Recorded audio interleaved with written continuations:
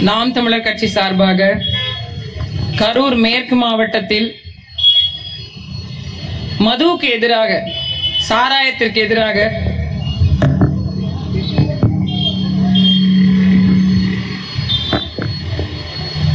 ஒரு முறைகேடான ஒரு ஆட்சி நடந்து கொண்டிருப்பதை கண்டித்தும்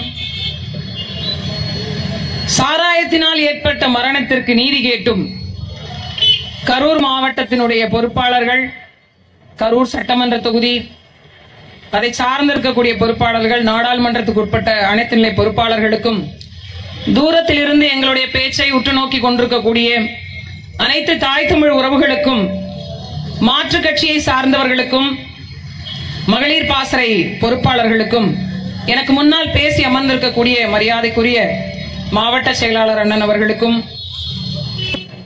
எங்களுக்கு பாதுகாப்பை நல்கி கொண்டிருக்கக்கூடிய காவல்துறை உறவுகளுக்கும். நாங்கள் பேசுவதை அப்படியே குறிப்பெடுத்து மரியாதைக்குரிய அமைச்சர் செந்தில் பாலாஜியிடம் கொடுக்க இருக்கக்கூடிய உளவுத்துறை நண்பர்களுக்கும் இளைஞர் பெருமக்களுக்கும் அறிவிச்சிறந்த சான்றோர் பெருமக்களுக்கும் அன்புதனையும் வாழ்த்துக்களையும் தெரிவித்து தொடங்குகிறேன்.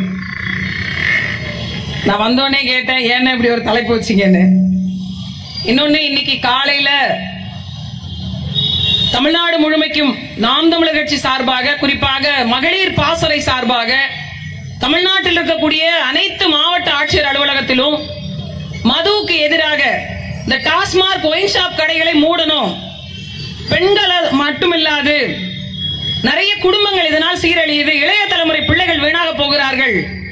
அதிலும் குறிப்பாக வேலூர் மாவட்டத்தில் ஒரு பதினாறு வயது மிக்க ஒரு பெண் பிள்ளை ஒரு கடிதம் எழுதுறா. ஒரு கடிதம் எழுதி வச்சுட்டு தற்கொலை செஞ்சுக்கிறா. என்னன்னா எங்க அப்பாவினுடைய இந்த குடிப்பழக்கம் மொத்த குடும்பத்தையும் நிர்மூலமாக்கி விட்டது என்றைக்கு இந்த குடிப்பழக்கத்தை விட்டு எங்க அப்பா குடும்பத்தினருடைய வழி புரிந்து வாழ்கிறாரோ அன்றைக்குத்தான் எனது ஆத்மா சாந்தி அடையும் என்று ஒரு கடிதத்தையும் எழுதிவிட்டு அவள் மரணித்து போனாள். அந்த மரணத்திற்கான மொத்த காரணத்திற்கான விடையை தமிழக அரசுக்கு சொல்லணும் அப்படிங்கிற காரணமாக தமிழ்நாடு முழுமைக்கும் ஒரு மிகப்பெரிய பரப்புரையை மேற்கொண்டது நாம் தமிழர் கட்சி. இன்னைக்கு கரூர் மாவட்டத்துக்கு என்னைய வ- வர சொல்லியிருந்தாங்க நான் போனேன். நாங்க என்னமோ கலெக்டர் ஆபீஸ்ல குண்டு வைக்க போன மாதிரி பத்து காவல்துறை குறுக்க வந்தாங்க. மனு தாங்க கொடுக்க போனோம். மனு தான் கொடுக்க போனோம். பத்து காவல்துறை வந்து பேரிகார்டை போட்டு யாரும் உள்ளே போகக்கூடாது. என்னங்க காரணம் அப்படின்னா பத்து பேர் தான் உள்ள போகணும். அஞ்சு பேர் தான் உள்ள போகணும்னு வரையறை மேற்கொண்டாங்க. சரி என்று அங்க உள்ள போய் பார்த்தோம். மாவட்ட ஆட்சியர் அமர்ந்திருந்தார். நீங்க வரிசையில வாங்க அப்படின்னார். எனது தனிப்பட்ட பிரச்சனைக்காக வரலீங்க மக்கள் பிரச்சனைக்காக தான் வந்திருக்கோம் அப்படின்னு எனக்கு என்னமோ அவரை பார்த்தோன்னா மாவட்ட ஆட்சியர் மாதிரியே தெரியல. திமுகவினுடைய மாவட்ட செயலாளர் மாதிரியே இருந்தார். அப்படித்தான் அவர் நடந்தும் கொண்டார். பாவம் யாருக்கு அடிமைப்பட்டு கிடக்கிறாரோ தெரியல. அதனை தொடங்கி இன்றைய தினம் தமிழ்நாட்டினுடைய நிலைமை எவ்வாறு இருக்கிறது? அரசியல் சூழல் எப்படி இருக்கிறது? மக்களுடைய பார்வை எப்படி இருக்கிறது? மக்களுடைய பொறுப்பு எப்படி இருக்கிறது? இந்த அரசியல் கட்டமைப்பு வந்ததனால் நாம் தமிழ்நாடு எப்படி மாறிக்கொண்டிருக்கிறது? இதை மட்டும்தான் சொல்லி முடிக்கிறதுக்கு நாங்க வந்துடும் ரெண்டு வருஷத்துக்கு முன்னாடி ரெண்டாயிரத்தி இருபத்தி ஒண்ணு ஒரு தேர்தல் வந்தது. அப்ப தெருவெங்க ஒரு பாட்டு போட்டாங்க. நினைவு இருக்கா உங்களுக்கு? என்ன பாட்டுன்னு யாராவது சொல்லுங்க. ஆ. இப்ப அந்த பாட்டை போடவே இல்லை ஈரோடு தேர்தல் ஏன் தெரியுமா? கம்ப கொண்டு எரியுவான் பாதி நேரம் இருட்டு திருட்டு பு- உருட்டு புரட்டு. இவ்வளவுதான் திமுக. இதுல நீங்க வி- ஸ்டாலின் தான் வராரு விடியல் தர போறாருன்னு ஒரு பாட்டு போட்டாங்க. நாங்கள் என்ன நினைச்சோம்? பத்தாண்டு காலம் ஆட்சி அதிகாரத்துல இல்ல. ஐயா வரப்போறார். வந்த உடனே தமிழ்நாட்டில் இருக்கிற ஆறுகள்லாம் பாலாறும் தேனாரும் ஓடும். வயல்வெளிகள்லாம் செழித்து விளையும். நல்லவர்கள்லாம் இருப்பாங்க. பொய்யே பேச மாட்டாங்க திருட மாட்டாங்க எந்தவித அநியாயங்களும் நடக்காது. சாலைகள் சரியா போகும். பிள்ளைகள் நல்ல தரமான கல்வி கிடைக்கும். நல்ல மருத்துவம் கிடைக்கும். படித்தவனுக்கு வேலை கிடைக்கும். பெண்களுக்கு பாதுகாப்பு கிடைக்கும். அரசியல் அதிகாரம் கிடைக்கும். இதெல்லாம் கிடைக்கும் நாங்க நினைச்சிட்டு இருந்தோம். இப்பதான் தெரியுது ஒயின் ஷாப் மூடி இருந்தாலும் பார்ல சரக்கு கிடைக்கும் ஒயின் ஷாப் மூடி இருந்தாலும். இன்றைக்கு ஒரு அறிக்கை உயர்நீதிமன்றம் ஒரு அறிக்கை வெளியிடுது. என்னென்ன? ஐநூத்தி அறுபது பார்களை மூட சொல்லி. பார ஒயின் ஷாப் இல்ல. பார மூட சொல்லி ஐநூத்தி அறுபது பார்களை மூட சொல்லி ஒரு உயர்நீதிமன்றம் மக்களுடைய நலனை கருத்தில் கொண்டு மூட சொல்லு அதுக்கு தமிழக அரசு ஒரு தகவல் தெரிவிக்குது. என்ன தெரியுங்களா? இவங்க தான் உங்களுடைய எதிர்கால தலைமுறையை பாதுகாக்க போகிறார்கள். உங்களுடைய வீட்டில் இருக்கக்கூடிய பிள்ளைகள் இருக்காங்கல்ல அவங்க எல்லாம் குடிக்காம இவங்க தான் பாதுகாத்து வைக்க போறாங்க. தமிழக அரசு ஒரு அறிக்கை கொடுக்குது. பார்களை மூடினால் தமிழக அரசுக்கு வருவாய் இழப்பு ஏற்படும். இந்த சாராய வித்து அடுத்தவன் வயிற்றில் அடித்த காசைத்தான் நீங்க ரேஷன் பொருளாக வாங்க நினைக்கிறீர்களா? எவன் வைத்தரு சொல்லியோ அவன் இளம் விதவைகளாக மாறி அவன் தாலி அறுத்த பணத்தை தான் நீங்கள் சலுகையாக பெற நினைக்கிறீர்களா? எங்க சாராயம் குடிக்கிறவனுக்கு பொண்ணு கொடுக்க மாட்டேங்கிறீங்க? ஒரு பொண்ணு கொடுக்குறோம். அந்த பொண்ணு மாப்பிள்ள வராரு. முதல்ல போய் எதுவுமே விசாரிக்காம சொத்து இருக்கா பத்து இருக்கான்லாம் ரெண்டாவது கேட்கிறோம் முத கேள்வி என்ன கேட்கிறோம் மாப்பிள்ளைக்கு எந்த கெட்ட பழக்கமும் இல்லைல்ல? மாப்பிள்ளை குடிக்க மாட்டார்ல? மாப்பிள்ளை தண்ணி சிகரெட் பிடிக்க மாட்டார்ல? போதை பழக்கம் எதுவும் பண்ண மாட்டார்ல? ஏன்? குடிக்கிறவனுக்கு பொண்ணு கொடுக்க கூடாது. ஆனா குடிய விற்கிறவங்களுக்கு நாட்டை கொடுக்கலாம். அப்படியா? எப்பேற்பட்ட ஒரு மோசமான அரசின் கீழ் நாம் வாழ்ந்து கொண்டிருக்கிறோம் பாருங்க. காரணம் என்ன? மக்கள் மௌனித்து போனதுதான். நீங்கள் பேசாமல் போனதுதான். இன்னைக்கு அந்த புள்ள விஷ்ணு பிரியான்ற பொண்ணு வேலூர் மாவட்டத்துல நெஞ்சை உலுக்குன்ற விதமாக குடித்து என் குடும்பம் நாசமாக போகிறது என்று செத்து போயிட்டா. உண்மையிலே சத்தியம் விட்டு சொன்ன திராவிட முன்னேற்ற கழகத்தின் தலைமையிலான இந்த அரசு வெட்கி தலகுனியனும் எத்தனை பேர் குடியை கெடுத்து உங்கள் குடியை நீங்க வாழ வைக்க போறீங்க? எத்தனை பேர் குடியை கெடுத்து? இதுல மது பாட்டில் எழுதி வைக்கிறீங்க. மது வீட்டுக்கு நாட்டுக்கு உசுருக்கு கேடு. உசுருக்கு கேடு வீட்டுக்கு கேடு நாட்டுக்கு என்ன கேடு? நாற்பத்தையாயிரம் கோடியில இருந்து ஐம்பதாயிரம் கோடியாக உயர்த்தணும்னு நீங்க வருவாய் கணக்கெடுப்புல திட்டமிடுறீங்க. ஒரு மாவட்ட ஆட்சியருக்கு என்ன வேலை தெரியுமா? மாவட்ட ஆட்சியருக்கு சாலை சரியா போட்டிருக்காங்களா? வருவாய்த்துறை ஒழுங்கா இயங்குதா? அந்த நிர்வாகத்தின் கீழ் மாவட்ட நிர்வாகத்தின் கீழ் இயங்கக்கூடிய சட்ட திட்டங்கள்லாம் ஒழுங்கா இயங்குதெல்லாம் பாக்குற வேலை இல்லை. முன்ன மாதிரி இல்லைங்க ரொம்ப டெவலப்பு திமுக வந்தாலே டெவலப் டெவலப் டெவலப் தானா? என்ன டெவலப் தெரியுங்களா? இனிமே நீங்க போய் யாரும் ஒயின் ஷாப் வாசல்ல நின்னுக்கிட்டு கஷ்டப்பட்டு வரிசையில் நின்று அவன் கூண்டு கட்டி வச்சிருப்பான். அந்த வரிசையில் நின்று சரக்கு வாங்கணும் அவசியம் இல்ல. நீங்க நேரம் சென்னை கோயம்பேடு போனீங்கன்னா போதும். பட்டணம் தட்டுனா அது வந்து விழுவுண்ணே பட்டணம் தட்டி காசை விட்டீங்கன்னா பாட்டில் வந்து விடும் டெவலப் அதை விட பெருங்கொடுமை கல்யாண மண்டபங்களில் நீங்கள் குடித்துக் கொள்ளலாம். கல்யாண மண்டபத்துல. ஏற்கனவே நம்ம ஆள்ல பல பேர் பேச்சுலர் பார்ட்டி வச்சுட்டு பொண்ணு எதுவும் தெரியாம கண்ணுங்க இருட்டிட்டு ஒரு மாதிரி உட்கார்ந்துட்டு இருக்காங்க மண்டபத்துல. இல்ல சட்டப்பூர்வமா அங்கீகரிச்சு கலெக்டர் கையெழுத்து போட்டு தருவார். கல்யாண மண்டபத்துல நீங்க குடித்துக் கொள்ளலாம். நீங்க வேணா பாருங்க பொண்ணு கழுத்துல தாலி கழட்டாம ஐயர் கழுத்துல தாலி கட்டல. நீங்க பாருங்க. இது நடக்காதுன்னு நினைக்கிறீங்களா? தமிழ்நாட்டுல இந்த அறிவிப்பு வந்த பத்து நாட்களுக்குள்ளே பாண்டிச்சேரியில் ஒரு கல்யாணம் நடந்துச்சு. பாண்டிச்சேரியில்.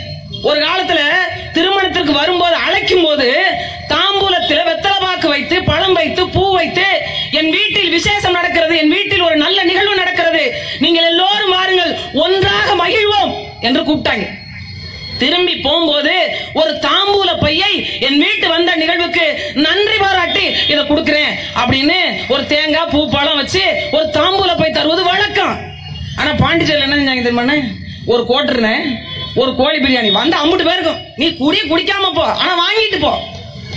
வாசல்ல வச்சு கொடுத்தாங்க. எவ்வளவு கேடு கெட்ட பாதையை நோக்கி இந்த நம்ம தமிழக மக்கள் திரும்பிட்டு இருக்கிறாங்க பாருங்க. வீட்டுக்கு ஒரு குடிநோயாளி வந்துட்டாங்க. வீட்டுக்கு ஒரு குடிநோயாளி. நான் சொல்லல. ஒரு கணக்கெடுப்பே சொல்லுது. வீட்டுக்கு ஒருத்தர் குடிக்கிறாங்க. அப்படி கணக்கிட்டு தான் நாற்பத்தையாயிரம் கோடியை ஐம்பதாயிரம் கோடியாக இந்த ஆண்டுல மாத்தணும். அது உங்க ஊருக்கு ஒரு ஸ்பெஷல் இருக்கு. என்ன ஸ்பெஷல் தெரியுங்களா? சாராயம் அதிகமா வித்ததுக்கு சர்டிபிகேட் கொடுத்த ஒரே மக்கள் நாமத்தான் நாமத்தான் எப்படிப்பட்ட ஒரு ஆட்சி அதிகாரம் பாருங்க. எப்படிப்பட்ட ஒரு ஆட்சி அதிகாரம்? இன்றைக்கு வாழ்கின்ற வீடு இருக்கு பாருங்க. பல பேருக்கு வீடு இல்ல. வாடகை வீட்டுல குடியிருக்கிறாங்க. நீங்க அண்ணன் சொன்ன மாதிரி யாருனாலும் சரி கிராமப்புறமா இருந்து வச்சுங்களேன் குழுவுல மட்டும் எட்டு லோனு குழுவுல. அவர் சொல்றாரு கடன் வாங்கினாலே அவமானம். கடன் வாங்கினாலே மான குறைவு. கடன் வாங்கினாலே நான் இழிவுபடுத்தப்படுவேன் என்ற நிலை மாறி பெண்கள் எல்லாம் இன்னைக்கு சுய உதவி குழு அந்த எக்கிப்டாஸ் குழு கிராம விடியல் குழு முத்தூட்டு பைனான்ஸ் குழு ஸ்பீடு வட்டி ராட்டு வட்டி கந்து வட்டி அந்த வட்டி இந்த வட்டி ஆயிரம் வட்டி. தவணை அரசாங்கத்தால் நமக்கு தொழில் வாய்ப்புக்கு கடன் உதவி கொடுக்க முடியாது. ஆனா தனியார் நிறுவனங்கள் வழங்குறான் எங்கிருந்து வருது அவங்ககிட்ட இருந்து பணம்? என்றைக்காவது நாம் கேள்வி கேட்டது உண்டா? வாழும் காலத்துல நான் திமுகவுக்கு முப்பத்தஞ்சு ஆண்டு காலம் ஆட்சி அதிகாரத்துல இருந்திருக்கு. நான் வாக்கு செலுத்தி இருக்கிறேன் எனக்கு சாலை சரியா இருக்கு. குடிநீர் தரமாக கிடைக்குது. என் பிள்ளை நல்ல கல்வி பயில்றான். நல்ல மருத்துவம் கிடைக்குது. நான் இப்ப படிச்ச உடனே என் பிள்ளைக்கு வேலை கிடைச்சிரும். எந்த பிரச்சனையும் இல்ல. என் பெண்கள் நைட்டு ஒரு மணிக்கு வேலைக்கு போயிட்டு வந்தா கூட எந்த பிரச்சனையும் இல்ல. பாதுகாப்பா வீடு வந்துடும் ஒருத்தர் சொல்லுங்க. அது திமுகவை சேர்ந்தவராக இருந்தாலும் சரி. சவால் விட்டு கேட்கிறேன்.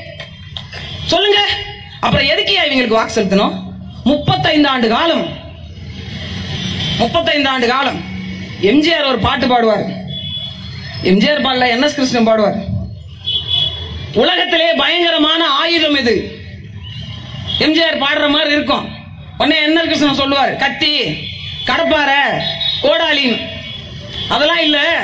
நிலைகட்டு போன நயவஞ்சகனின் நாக்கு தான் அது அப்படின்னு சொல்லுவாங்க. அதான் நல்ல ச- வந்து மோசமான ஆயுதம். அந்த மாதிரி அங்க இருக்கும்போது அம்மா நீங்கள் மட்டும் இல்லை என்றால் தமிழ்நாடு கோபாலபுரத்தின் கொள்ளைக்காடாக மாறி இருக்கும் இங்கிட்டு இவரு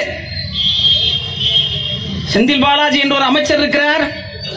நான் பேசல. நீங்க பாட்டுக்கு காளியம்மாள் பேசினாங்கன்னு குறிப்பிடுத்துறாதீங்க. முதல்வர் பேசினது அமைச்சர் இருக்கிறார். ஒட்டுமொத்தமாக மிகப்பெரிய கொள்ளைக்காரராக இருக்கிறார். அவரை போன்றவர்கள் எல்லாம் எப்படி அதிமுகவில் அமைச்சரவையில் இடம்பெற்றார்களோ என்று தெரியவில்லை. இதில் முதலமைச்சர் பட்டியலில் அவர் பெயர் வேறு இடம்பெற்றிருக்கிறது. இது அப்புறம். அடுத்து இங்கிட்டு. இங்க வந்த பிறகு நீங்க சரியான இடத்துக்கு தான் வந்திருக்கீங்க. கரெக்ட் நாங்களும் சொல்றோம். அவர் சரியான இடத்துக்கு தான் வந்திருக்காரு. ஒரு நாடு மக்களுடைய வரிப்பணத்தை ஒருவன் ஒரு ரூபாய் எடுக்கிறான் என்றால் அவன் உடம்பு கூசணுமா வேண்டாமா? ஏன்? அந்த பணம் சும்மா வருதா? எத்தனை பாடுபடுகிறான்? எத்தனை கஷ்டப்படுகிறான்? இந்த வெயிலிலும் காணலிலும் மழையிலும் வெந்து தணிகிறான் அல்லவா? அவன் காசை எடுத்து அவ்வளவு சுலபமாக அவ்வளவு சுலபமாக நீங்க செலவு செய்றீங்க. ஈரோடுல மொத்த செலவும் அண்ணனோடது தான். ஈரோடுல. பணம் சம்பாதித்து கொடுப்பதற்கென்று ஒரு அமைச்சர். நான் தார்மீகமா ஒரு கேள்வி வைக்கிறேன். மரியாதைக்குரிய அண்ணன் செந்தில் பாலாஜி அவர்களுக்கு ஒரு கேள்வி வைக்கிறேன். உங்கள் துறையின் பெயர் என்ன? உங்களுடைய துறையின் பெயர் என்ன? நான் திரும்ப ஞாபகப்படுத்துறேன். மது விலக்கு மற்றும் அமலாக்கத்துறை மது விலக்கு மற்றும் அமலாக்கத்துறை மதுவை விலக்கணும் அதை அமலாக்கம் செய்யணும். அதான் உங்க வேலை. சாராயம் வைக்கிறதா உங்க வேலையா? மது விளக்குறாரு துறையின் பெயர் என்ன? எதில் அமைச்சரவையில் நீங்கள் இடம்பெற்றிருக்கிறீங்க? ஆனா என்ன வேலை பார்த்து கொண்டிருக்கிறீங்க? அதிலும் பெரிய கொடுமை என்ன தெரியுமா? விழுப்புரம் மாவட்டத்தில் கள்ளசாராயம் குடிச்சு 27 பேர் இறந்து போயிட்டாங்க. கள்ளசாராயம் குடிச்சு. எங்களுக்கு என்ன கேள்வி தெரியுமா? அவனே தயாரிச்சு மரத்துக்கு பின்னாடி முட்டு சந்தில சந்தில பொந்தில வித்தா அது கள்ளசாராயம் நீங்க கடை நடத்தி ரெண்டு ஆளை கவர்மெண்ட் வேலைன்னு போட்டு வித்தா அதுக்கு பேர் நல்ல சாராயமா? என்னையா உங்க நியாயம்? என்ன நியாயம்? ஜெகன்மோகன் ரெட்டி பக்கத்தில் இருக்கக்கூடியவர் தன் ஒரு பிள்ளையை அரசு பள்ளிக்கூடத்தில் சேர்க்கின்ற பெற்றோர்களுக்கு பதினைந்தாயிரம் ரூபாய். அறிவிக்கிறார். ஏன்? அரசு பள்ளிக்கூடத்துல பிள்ளைகள் வந்து படிக்கணும். தரம் வாய்ந்த கல்வியை பெறணும். யாரும் கல்வி கட்டணமாக தனியார் பள்ளிகளுக்கு லட்சக்கணக்கில் கொட்ட வேண்டாம். அதனால பிள்ளைகளே என் பள்ளிக்கூடத்தை தேடி வாருங்கள் அப்படின்னு ஒரு முதலமைச்சர் கூப்பிட்டு இருக்கிறார். இங்க கல்வித்துறை அமைச்சரா இருக்கக்கூடிய இவருங்க என்ன பண்றாரு தெரியுமா? நீங்க எல்லாத்துக்கும் வரி செலுத்துறீங்க ஆனா. அவர் என்ன பண்றாரு தெரியுமா? ஐயையோ எங்களிடம் காசு இல்லை அவரால் பதினஞ்சாயிரம் ரூபாய் தர்றாரு இங்க காசு இல்லை யாராவது பணக்காரர்களே யாராவது கல்வி தானம் செய்பவர்களே யாராவது இருந்தா அஞ்சு பத்து பிச்சை போடுங்க. நாங்க அரசு பள்ளிக்கூடத்துக்கு கதவு போடணும். கதவு போடணும். சரிங்க அரசு பள்ளிக்கூடத்துக்கு கழிவறைக்கு கதவு இல்ல. அதுக்கு காசு இல்ல. சரி ஒத்துக்கொள்றோம் இன்னும் பத்து ரூபா கூட கேட்டா கூட பாட்டிலுக்கு அவங்க தருவாங்க. வாங்கிக்கங்க. ஆனா கதவை போடுவீங்களா? எண்பது கோடிக்கு செலவைக்கிறேன்றீங்க. எண்பது கோடிக்கு. இந்த ஒரு படத்துல சொல்லுவாங்க தெரியுமா? என் வீட்டு பிள்ளைக்கு அஞ்சு ரூபா பலூன் வாங்கி கொடுக்க காசுல ஆட்டக்காரிக்கு ஐநூறு ரூபாயான்னு. அப்படி தோணுதா தோணலையா உங்களுக்கு? ஏன் நாங்க கத்துறோம்? ஏன் கத்துறோம்? எதிர்கட்சி அதிமுக என்ன பண்ணிட்டு இருக்கு என்ன பண்ணிட்டு இருக்கு இன்னைக்கு ம- கன்னியாகுமரி மாவட்டத்தில் மலைகளை கடத்தி கொண்டு போய் நூறு அடி ஆளுங்க மலையெல்லாம் உடைச்சாச்சு. தரை வந்துருச்சு. தரையில இருந்து நூறு அடி. நூறு அடிக்கு கல் தோண்டி குவாரிகளாக மலைகள் உடைக்கப்பட்டு கொண்டு போய் கொண்டு மலைகள் இல்லை அப்படின்னா மழை வர போறது ஈரோடு மாவட்டத்தில் ஆறு நாளா உண்ணாவிரதம் இருக்கிறாங்க. அங்க இருக்கக்கூடிய விவசாயிகள். அந்த பவானி சாகர் அணையில கீழே அடித்தளம் போடுறாங்க. ஓடுற தண்ணிக்கு யாராவது அடித்தளம் போடுவாங்களாங்க?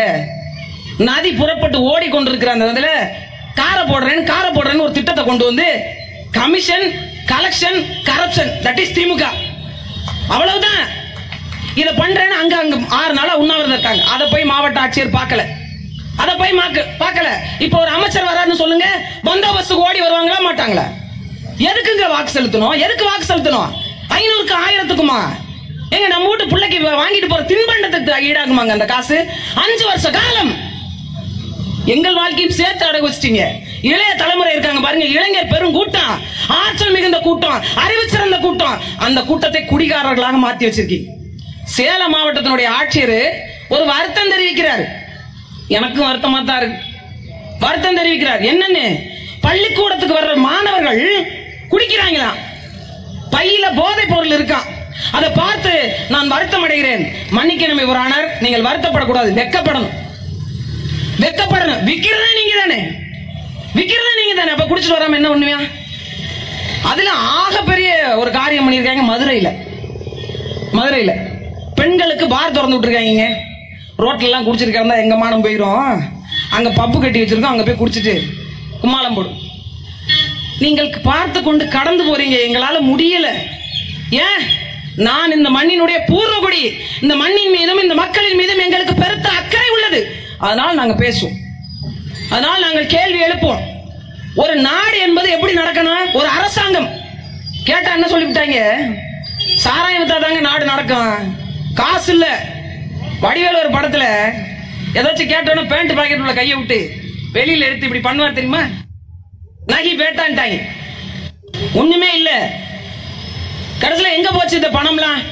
சரி எங்கள்கிட்ட காசு இல்ல. நாட்டுக்கிட்ட காசு இல்ல. இருக்கிற எல்லா அமைச்சரும் இருபதாயிரம் கோடி முப்பதாயிரம் கோடி எங்க இருந்து வச்சிருக்கீங்க? இப்ப ஐயா வந்து முன்னாடி துபாய் போனார். இப்ப மறுபடியும் சிங்கப்பூர் போனார். ஜப்பான் போனார். போனார் தான் எல்லா நாட்டுக்கு போயிட்டே இருப்பார். அவருக்கு மே மாசம். எங்கேயாச்சும் வெளிநாடு போவோம். குடும்பத்தோட புறப்பட்டு போயிட்டார். இப்ப என்ன சொல்றாங்க? அங்கிருந்து உங்களுக்கு தொழில் வாய்ப்பு வரும். நான் என்ன கேட்கிறேன் தமிழ்நாட்டில் இருக்கக்கூடிய விவசாய நிலங்கள் எல்லாம் விளைகிறதா? தரிசு நிலங்களே இல்லையா? ஏன் அந்த தரிசு நிலத்தை நீங்கள் மேம்படுத்தல? ஏன் விவசாய நிலங்களை அழித்து தொழிற்சாலைகள் கொடுக்கறீங்க? ஏன் என்னுடைய நீர்நிலைகளை தனியார் மயமாக்குறீங்க? ஏன் என்னுடைய வர்த்தகத்தை தாராளமயமாக்குறீங்க ஏன் சிறு குறு தொழிற்சாலைகளுக்கு நீங்கள் கடனுதவி கொடுக்க மறுக்கிறீங்க? ஏன் மின் கட்டணத்தை ஏத்துறீங்க? ஏன் என்னுடைய வரி பணத்தை எல்லாம் நீங்கள் கொள்ளையடிக்கிறீங்க? என்ற கேள்விக்கு எதுக்கு ஒன்னாவது பதில் இருக்கா? எதுக்காவது பதில் இருக்கா? எல்லாவற்றையும் விடுங்க. நீங்க திமுகலே இருங்க. பரம்பரை திமுக கூட இருங்க. என்னன்னா என்ன பரம்பரை? நானும் கடந்த ஐந்து ஆண்டுகளாக தேடிக்கொண்டிருக்கிறேன். அது என்ன பரம்பரை இன்னும் விடை கிடைச்ச பாடல நீங்கள் அண்ணா திமுகவில் இருங்க. முப்பது ஆண்டு காலம் அண்ணா திமுக ஆட்சி அதிகாரத்தில் இருந்துச்சு முப்பத்தைந்து ஆண்டு காலம் இந்த ரெண்டு வருஷத்தையும் சேர்த்து முப்பத்தேழு ஆண்டு காலம் திமுக ஆட்சி அதிகாரத்தில் இருந்தது. ஏதாவது ஒரு ஐந்து ஆண்டுல ஏதாவது ஒரு ஐந்து ஆண்டுல நான் கேட்கின்ற கேள்வி உங்களுக்கு சரி எனப்பட்டால் உங்கள் மனசாட்சிக்கு நீங்க பதில் சொல்லுங்க. ஏதாவது ஒரு ஐந்து ஆண்டுல ஒரே ஒரு கிராமத்துல தமிழ்நாட்டில் இருக்கக்கூடிய மொத்த கிராமத்துல ஏதாவது ஒரு கிராமத்தில் குடிசைகளே இல்லாத பகுதியா நாங்க மாத்தி காட்டிட்டோம் இவர்களால் சொல்ல முடியுமா? குடிசைகளே இல்லாத பகுதியா? இத்தனை ஆண்டு காலத்தில் வளர்ச்சி வளர்ச்சி என்று பேசக்கூடிய இவர்கள் மனித கழிவுகளை மனிதனை அள்ளுகிறானே அதிலிருந்து ஒரு மாற்றத்தை கொண்டு வந்து விட்டார்களா? படித்த பிள்ளைகள் இன்றைக்கு இன்ஜினியரிங் படித்து விட்டு இன்னும் இருக்கக்கூடிய பட்ட படிப்பு பட்டய படிப்பு ஏதோ கனவு கண்டு பத்தாம் வகுப்பு தேர்வுலங்க நண்பரோடு விளையாட விட மாட்டீங்க. ஒரு டிவி பார்க்க விட மாட்டீங்க. ஒரு கிரிக்கெட் பேட் எடுத்துட்டு வெளில போனா தேர்வு வருது. பொது தேர்வு வருது. இந்த நேரத்தில் எங்கடா வெளில போறேன்னு திட்டணும் சொந்தக்காரங்க வீட்டு திருமண நிகழ்வுக்கும் கூட்டு போக மாட்டீங்க. அப்படியெல்லாம் அவனை படிக்க வச்சீங்க. திரும்ப என்ன பண்ணீங்க? பன்னெண்டாவது. திரும்ப கல்லூரி அல்லது வந்து பட்டய படிப்பு ஏதோ ஒன்று படிக்க வச்சோம். மொத்த சொத்தையும் வித்து உங்களுடைய உழைப்பை தான் நான் சொத்து என்று சொல்லுகிறேன். மொத்த உழைப்பையும் வித்து ஒரு பிள்ளைய படிக்க வச்சீங்க. என்ன பண்றா உங்க பிள்ளை? என்ன பண்றா? காசு கொடுக்காமங்க காசு கொடுக்காம. ஒரு ஆஸ்பத்திரி இருக்கு பாருங்க கால்நடை மருத்துவமனை. அந்த கம்பவுண்டர் வேலை கூட வாங்க முடியாது இப்ப. ஏன்? நீங்க வாங்கின ஓட்டுக்கான பணம். ஓட்டுக்கான பணம். நீங்க வாங்கின ஆயிரம் ரூபாய் தான் முற்று முழுவதுமாக மொத்தமாக திருப்பி எடுத்துக்கொண்டே போறாங்க அதுலயும் இப்ப செப்டம்பர் மாசம். பெண்களுக்கெல்லாம் மாதம் ஆயிரம் ரூபாய். எப்ப? தேர்தலுக்கு முன்னாடி சொன்னாங்க. மொத்த பெண்களுக்கும் சொன்னாங்க. நாங்கள் ஆட்சிக்கு வந்தால் மாதம் ஆயிரம் ரூபாய் பெண்களுக்கு கொடுத்துருவான் அதுலயும் அவரு சொல்லும்போது என்ன சொன்னாங்க? நான் உங்களுடைய அண்ணன். ஒரு பிறந்த வீட்டுக்கு ஒரு பெண் வந்து போகும்போது வெறுங்கையோடு திரும்பி போக கூடாது. அதனால் ஒரு அண்ணன் வழி செலவுக்கு கொடுப்பதாக மாதம் ஆயிரம் ரூபாய் நான் கொடுக்கிறேன். நீங்க போய் உங்களுடைய தனிப்பட்ட செலவுக்கு அதை வைத்துக் கொள்ளுங்கள். உங்கள் கணவரிடம் போய் எதற்கும் காசு கேட்காதீர்கள் என்று அவர் சொன்னார். சரிங்க ஆயிரம் ரூபாய் கொடுங்க. எப்ப தருவீங்க? அப்படின்னு ஏழு பேங்க்ல அக்கௌண்ட் ஓபன் பண்ணி வச்சுட்டு உட்காந்துருக்காங்க இப்ப என்ன சொல்லிவிட்டாங்க? தமிழ்நாட்டில் மொத்தம் ரெண்டு கோடியே இருபது லட்சம் குடும்ப அட்டைகள் இருக்கு. அதாவது ரெண்டு கோடியே இருபது லட்சம் பெண்கள் இருக்கிறார்கள் குடும்ப தலைவிகள் இருக்கிறார்கள். ஒரு கோடி பேருக்கு மட்டும்தான் நாங்க வழங்குவோம். ஒரு கோடி குடும்பங்களுக்கு மட்டும்தான் மாதம் ஆயிரம் ரூபாய் எப்படிங்க? அது தகுதி வச்சிருக்கோங்க நாங்க. தகுதியின் அடிப்படையில் தமிழ்நாட்டு பெண்களை தரம் பிரிக்க திராவிட முன்னேற்ற கழகம் தொடங்கி விட்டது நீங்கள் கடந்து செல்வீர்கள். மான தமிழ் பிள்ளைகள் நாங்கள் கேள்வி கேட்போம். நாங்க கேள்வி கேட்போம். ஆயிரம் ரூபா. சரி கொடுக்குறீங்க. நான் எல்லாம் என்ன பண்ணிட்டோம்? ஐயோ அண்ணன் நமக்கு ஆயிரம் ரூபாய் கொடுக்குறாரு அப்படின்னு பார்த்தா ஒரு வீட்டில் ஒருத்தர் குடிநோயாளின்னு ஏற்கனவே சொல்லியாச்சா? ஒரு வீட்டில் கணக்கீடு படி பார்த்தா சராசரியாக குடும்பத்தில் ஒருத்தர் குடிக்கிறார். முதல்ல நூத்தி இருபது ரூபான்னாங்க. நூத்தி நாற்பது ரூபான்னாங்க. நூத்தி ஐம்பது ரூபான்னாங்க. இப்ப பத்து ரூபா எக்ஸ்ட்ரா போய் நூத்தி அறுபது ரூபான்றாங்க. நம்ம ஆளுக்கு நம்ம ஆளு பார்க்குற வேலைக்கும் இருக்கிற டென்ஷனுக்கும் ஒரு குவார்டர் பத்த மாட்டுது. ரெண்டு குவார்டர் வாங்க வேண்டியதா இருக்கு. அதுக்கு சைட் டிஷ் அந்த கப்பு எல்லாம் சேர்த்து ஒரு நாளைக்கு நானூறு ரூபாய் செலவாகுது. முப்பது நாள். நமக்கு இந்த சண்டே எல்லாம் லீவ் விட்டு பழக்கம் இல்லை முப்பது நாள். முப்பது நாள் இன்ட்டு நானூறுரூவா கணக்கு பண்ணுங்க எவ்வளவு? பன்னெண்டாயிரம் ரூபாய். பன்னெண்டாயிரம் ரூபாய உங்கள்கிட்ட இருந்து நான் வாங்கிக்கிட்டு ஆயிரம் ரூபாய திருப்பி கொடுக்குறேன். பதினோராயிரம் ரூபாய் கம்பெனிக்கு லாபம். இவ்வளவுதான் இந்த திட்டம். இப்போ ஒரு லிப்ஸ்டிக் போட்ட பஸ் போச்சு பாத்தீங்களா? முன்னாடி கொஞ்சம் முன்னாடி கொஞ்சம் சிவப்பு பெயிண்ட் பின்னாடி கொஞ்சம் சிவப்பு பெயிண்ட் இந்த இளவெடுத்தவங்களுக்கு பசுப்புள்ள பெயிண்ட் அடிக்க கூட காசு இல்லைங்க. என்னத்த சொல்லி நான் நாசமுத்து போறது? இதுல ஏதோ சொல்லாம இருந்தாலும் நம்ம பேச மாட்டான் கடந்து போயிடுவான் ஒரு போ பேனரை வச்சு ஈடு இல்லாத ஆச்சு ரெண்டாண்டே சாட்சி. திரும்புற இடம்லாம் இருக்கு. அது அந்த ஊர் உள்ள நுழையும் போது பார்த்தேன். அங்கிட்டு ஒரு பேனர்ல குதிரை பொம்மையை வந்து கொடுக்குறாரு. நம்ம அண்ணன். நம்ம அமைச்சர் அண்ணன் மரியாதைக்குரிய ஐயா ஸ்டாலின் அவர்களுக்கு ஒரு குதிரை பொம்மையை கொடுத்தாரு. நான் ரொம்ப நேரம் யோசிக்கிறேன். எதுக்கு குதிரை பொம்மையை கொடுத்துருக்காரு? அப்படின்னு. இந்த தம்பி சொன்னா அவர் தளபதி. அவர் போவதற்கு ஒரு குதிரை தேவை. அதனால குதிரை கொடுத்துருக்காரு அப்படிங்க நான் திருப்பி கேட்டேன் அதுக்கு எதுக்கிட்ட பொம்மை குதிரையை கொடுத்துருக்கிறாரு? அப்படின்னு கேட்டேன். அவன் சொன்னான் பொம்மை தளபதிக்கு பொம்மை குதிரை தாங்க கொடுக்க முடியும் நல்ல குதிரை அங்கே கொடுக்க முடியும் அதில் ஏறி அவர் திட்டுப்புடின்னு எங்கேயா உளுந்து வாரிட்டாருன்னா வந்துருமா? இந்த இந்த விளம்பரங்கள்லாம் பார்க்கும்போது நமக்கு வயிறாக எரியுதுங்க. இந்த விளம்பரம் பண்ண காசு இருக்கு பாருங்க. இந்த வைக்கிற பேனர் இருக்கு பாருங்க. அந்த பேனர் வச்ச காசு காவது நாலு வீட்டுக்கு கூரை வாங்கி போட்டு அவன் மழையில நினையாம வெயில் அலையாம இருப்பாங்க. எதுங்க அரசு? எது அரசு? நாட்டு மக்களின் நன்மைக்காக தன்னுடைய குடும்பத்தையே தியாகம் செய்த அந்த ஒப்பற்ற மனிதன் செய்தது அரசு. அந்த ஒப்பற்ற மனிதன். அறிஞர் அண்ணா உங்களுக்கு ஞாபகம் இருக்கா? திராவிட முன்னேற்ற கழகத்தை சார்ந்தவர்கள் சொல்றேன். அறிஞர் அண்ணா ஞாபகம் இருக்கா? அவர் என்ன சொன்னாரு? சாராயம் வித்து குடிக்கடை நடத்தி வருகின்ற காசை ஒருவன் வாங்கி அரசாங்கத்தை நடத்துவது எப்படிப்பட்ட குற்றம் தெரியுமா? ஒரு குஷ்டரோகியின் கையில் இருந்த வெண்ணையை வாங்கி தின்பதற்கு சமானம் என்று சொன்னவர் பேரறிஞர் அண்ணா.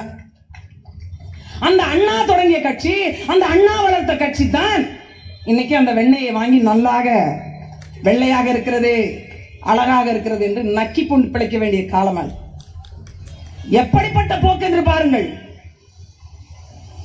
எந்த சூழல்ல நீங்க வாழ சொல்றீங்க? எந்த சூழல்ல வாழ சொல்றீங்க? எது ஒன்றையும் நீங்க பேசவே கூடாது. என்ன பேசலாம் நீங்க நியாயத்தை பேசினாலும் தவறு. இங்க பெண்களுக்கு பாதுகாப்பே கிடையாதுங்க பெண்களுக்கு பாதுகாப்பே கிடையாது. இந்த கூட்டம் நடத்தவே நாங்க பட்ட பாடு எங்களுக்கு தான் தெரியும். கரூர்ல இருக்க அம்பட்ட பேர்ட்டையும் சொல்லிட்டாங்க மேடை கொடுக்காதீங்க பேனர் கொடுக்காதீங்க மைக்கு கொடுக்காதீங்க. ஒண்ணுமே கொடுக்கலாம் நாங்க ரோட்ல நின்று கத்துவோம். ஏன்? சீமானின் வளர்ப்பு. எங்க அண்ணன் சீமானின் வளர்ப்பு. ஏன் கொடுக்க வேணான்றீங்க? உண்மையை சொல்லிடுவியான் நாலு பேருக்கு போய் சேர்ந்துருவோம். எல்லாவற்றையும் மறந்துருவோங்க. சில விஷயங்களா அரசியல்ல ஆதாயம் பாக்குறாங்க எவன் தாங்க சம்பாதிக்கல? விட்டுருவோம். அப்படின்னு நீங்க விடலாம். ஒன்றை விட முடியுமா? நம் வீட்டு பெண் மீது கை வைக்க தொடங்கிய பிறகும் நாம் எப்படிங்க கடந்து போக முடியும்? எப்படி கடந்து போக முடியும்? ஆயிரக்கணக்கான பெண் பிள்ளைகளை அதிமுக ஆட்சி காலத்துல நீங்க அதிமுக வாக்கு செலுத்தி இருந்தா உங்கள் மனசாட்சிக்கு இந்த கேள்வியை நான் விடுறேன்.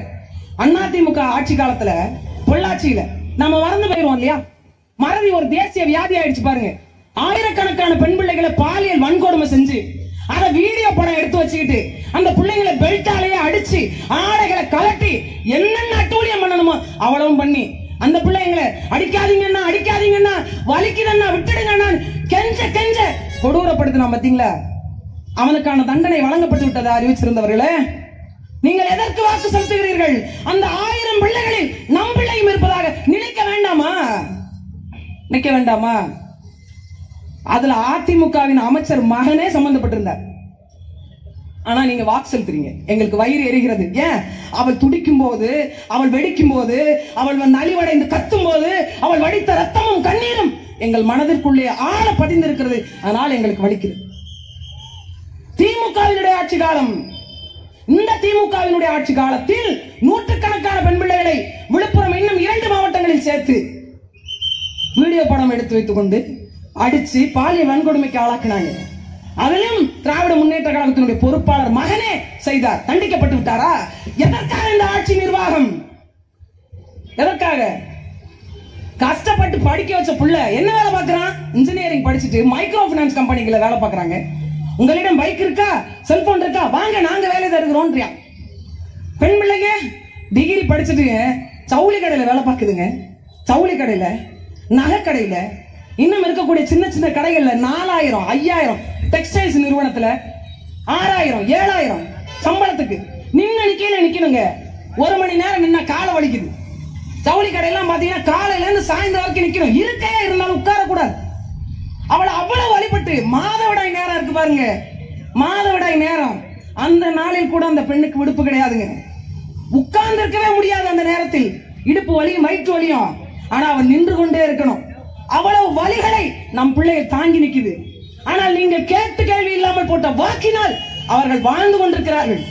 வாழ்ந்து கொண்டு எதை கடந்து போக சொல்றீங்க? என் படித்த பிள்ளைகளுக்கு வேலை கொடுக்க முடியல. நல்ல கல்வி கொடுக்க முடியல. தூய குடிநீர் கொடுக்க முடியல சரியான மருத்துவம் கொடுக்க முடியல சரி நல்ல சாலை கொடுக்க முடியல வியாபாரிகள் வர்த்தகர்களுக்கு ஒரு ஒரு சுதந்திரமாக வேலை செய்ய வணிகம் செய்ய முடியல. ஆற்று மணல் என்பது உண்மையிலேயே இந்த மண்ணினுடைய வளமே மணலை வைத்து தான் கணக்கிடப்படும். அதை டன் கணக்கில் ஏத்திட்டு போறீங்க மலையை வெட்டி இது பண்றீங்க. கடலை வித்து விட்டாங்க கடலை. நீங்க நம்ப மாட்டீங்கல்ல? எப்ப நம்பி இருக்கிறீங்க? நாலு லட்சம் ஹெக்டேர் கடல் பரப்பு. நாலு லட்சம் ஹெக்டேர் நிலம் இல்ல கடல். வித்து காசாக்கி விட்டாங்க இப்ப நீ என்ன செஞ்சுக்கணும் தெரியுமா? ஒரு பேப்பர்ல மீன் அப்படின்னு எழுதி வச்சு பாத்துக்கலாம் ஆ, இதான் மீன் சுறா மீன். இல்லைன்னா இப்ப போனீங்கன்னா யூடியூப்ல படம் வரும். அதான் எடுத்து இனிமே பாத்துக்கணும் ஏன்? பல லட்சக்கணக்கான கடலோடி மக்களை அந்த கடற்கரை நிலத்துல இருந்து அப்புறப்படுத்த போறாங்க. சென்னையில பாத்தீங்கல்ல சென்னையில கடலோடி மக்கள் கடற்கரையோரம் மீன் விற்கிறது தான் அவங்களுக்கு வேலையே. அந்த மக்களை கூட எல்லாம் எட்டி உதைச்சு இங்கெல்லாம் நீங்க மீன் விற்க கூடாது. பூர்வ குடிகள் அந்த நிலத்துடைய சொந்தக்காரர்களை அடித்து விரட்டப்பட்டாங்க. வேடிக்கை பார்த்தது அடித்து விரட்ட செய்தது திராவிட முன்னேற்ற கழகம். அந்த மெரினா கடற்கரை எல்லாரும் படம் எடுக்கிறாங்க பாத்தீங்க போய் உட்கார்ந்து இருந்தீங்க எல்லாரும் ரசிச்சீங்க. ஏழு பேருடைய உயிரை பலி வாங்கியது அந்த மெரினா கடற்கரை. அந்த மெரினால ஒரு பெரிய கிராமம் இருந்ததுங்க. அந்த கிராமத்தை அடிச்சு விரட்டினாங்க அதிமுக காலத்துல. அதை போராட போனவங்க நீங்க தூத்துக்குடி துப்பாக்கி சூட போய் கேள்விப்பட்டிருக்கீங்க இல்லையா? எம்ஜிஆரே அந்த வேலையை செஞ்சிருக்காரு. போராட போன மக்களை துப்பாக்கியால் சுட்டு கொன்றாங்க எவ்வளவு காலத்துக்குங்க இப்படியே நம்ம இருக்க முடியும்? எவ்வளவு காலத்துக்கு? இந்த ஈரோட்ல உண்ணாவிரதம் இருக்காங்க பாருங்க. அந்த அணைக்கரை ஓரம் பதினைந்தாயிரம் மரங்களுக்கு மேல இருக்கா? பதினைந்தாயிரம் மரங்கள். ஒவ்வொரு மரமும் மு- அவ்வளவு முக்கியத்துவம் வாய்ந்த மரம். பேரே தெரியாது நமக்கு பல மரங்கள் பேரு. அவ்வளவு நுட்பம் வாய்ந்த மரங்களை ஒரே நாள்ல வெட்டி வீழ்த்த போறீங்க. இந்த பதினைந்தாயிரம் மரங்களையும் நடுவதற்கு உங்களிடம் திராணி இருக்கிறதா? ஏதாவது திட்டம் இருக்கிறதா? முன்னாடி எல்லாம் பாத்தீங்கன்னா வேலூர் தான் வெப்பமான ஊர்னு சொல்லுவாங்க. இன்னைக்கு கரூர்ல எப்படி இருக்கு வெப்பம்? இன்னைக்கு நடமாட முடியுதா? பகல் நேரத்துல ஏதாவது ஒரு மரத்தை ஒரு நிழலை தேடி ஓடுறோமா இல்லையா? மரங்களே இல்லாத சூழலில் எப்படி மனிதனால் வாழ முடியும்? ஏன் இதை யோசிக்கல? மரம் வளர்ப்புக்கென்று ஒரு திட்டம் ஏதாவது தமிழ்நாட்டு அரசு. இந்த பட்ஜெட் ஒதுக்கும் போது ஒதுக்குறாங்கல்ல அதெல்லாம் நீங்க கணக்கில் எடுத்துக்காதீங்க. அது ஒதுக்கப்படுவது நடத்தப்படுவது அல்ல. செயல்படுத்தப்படுவது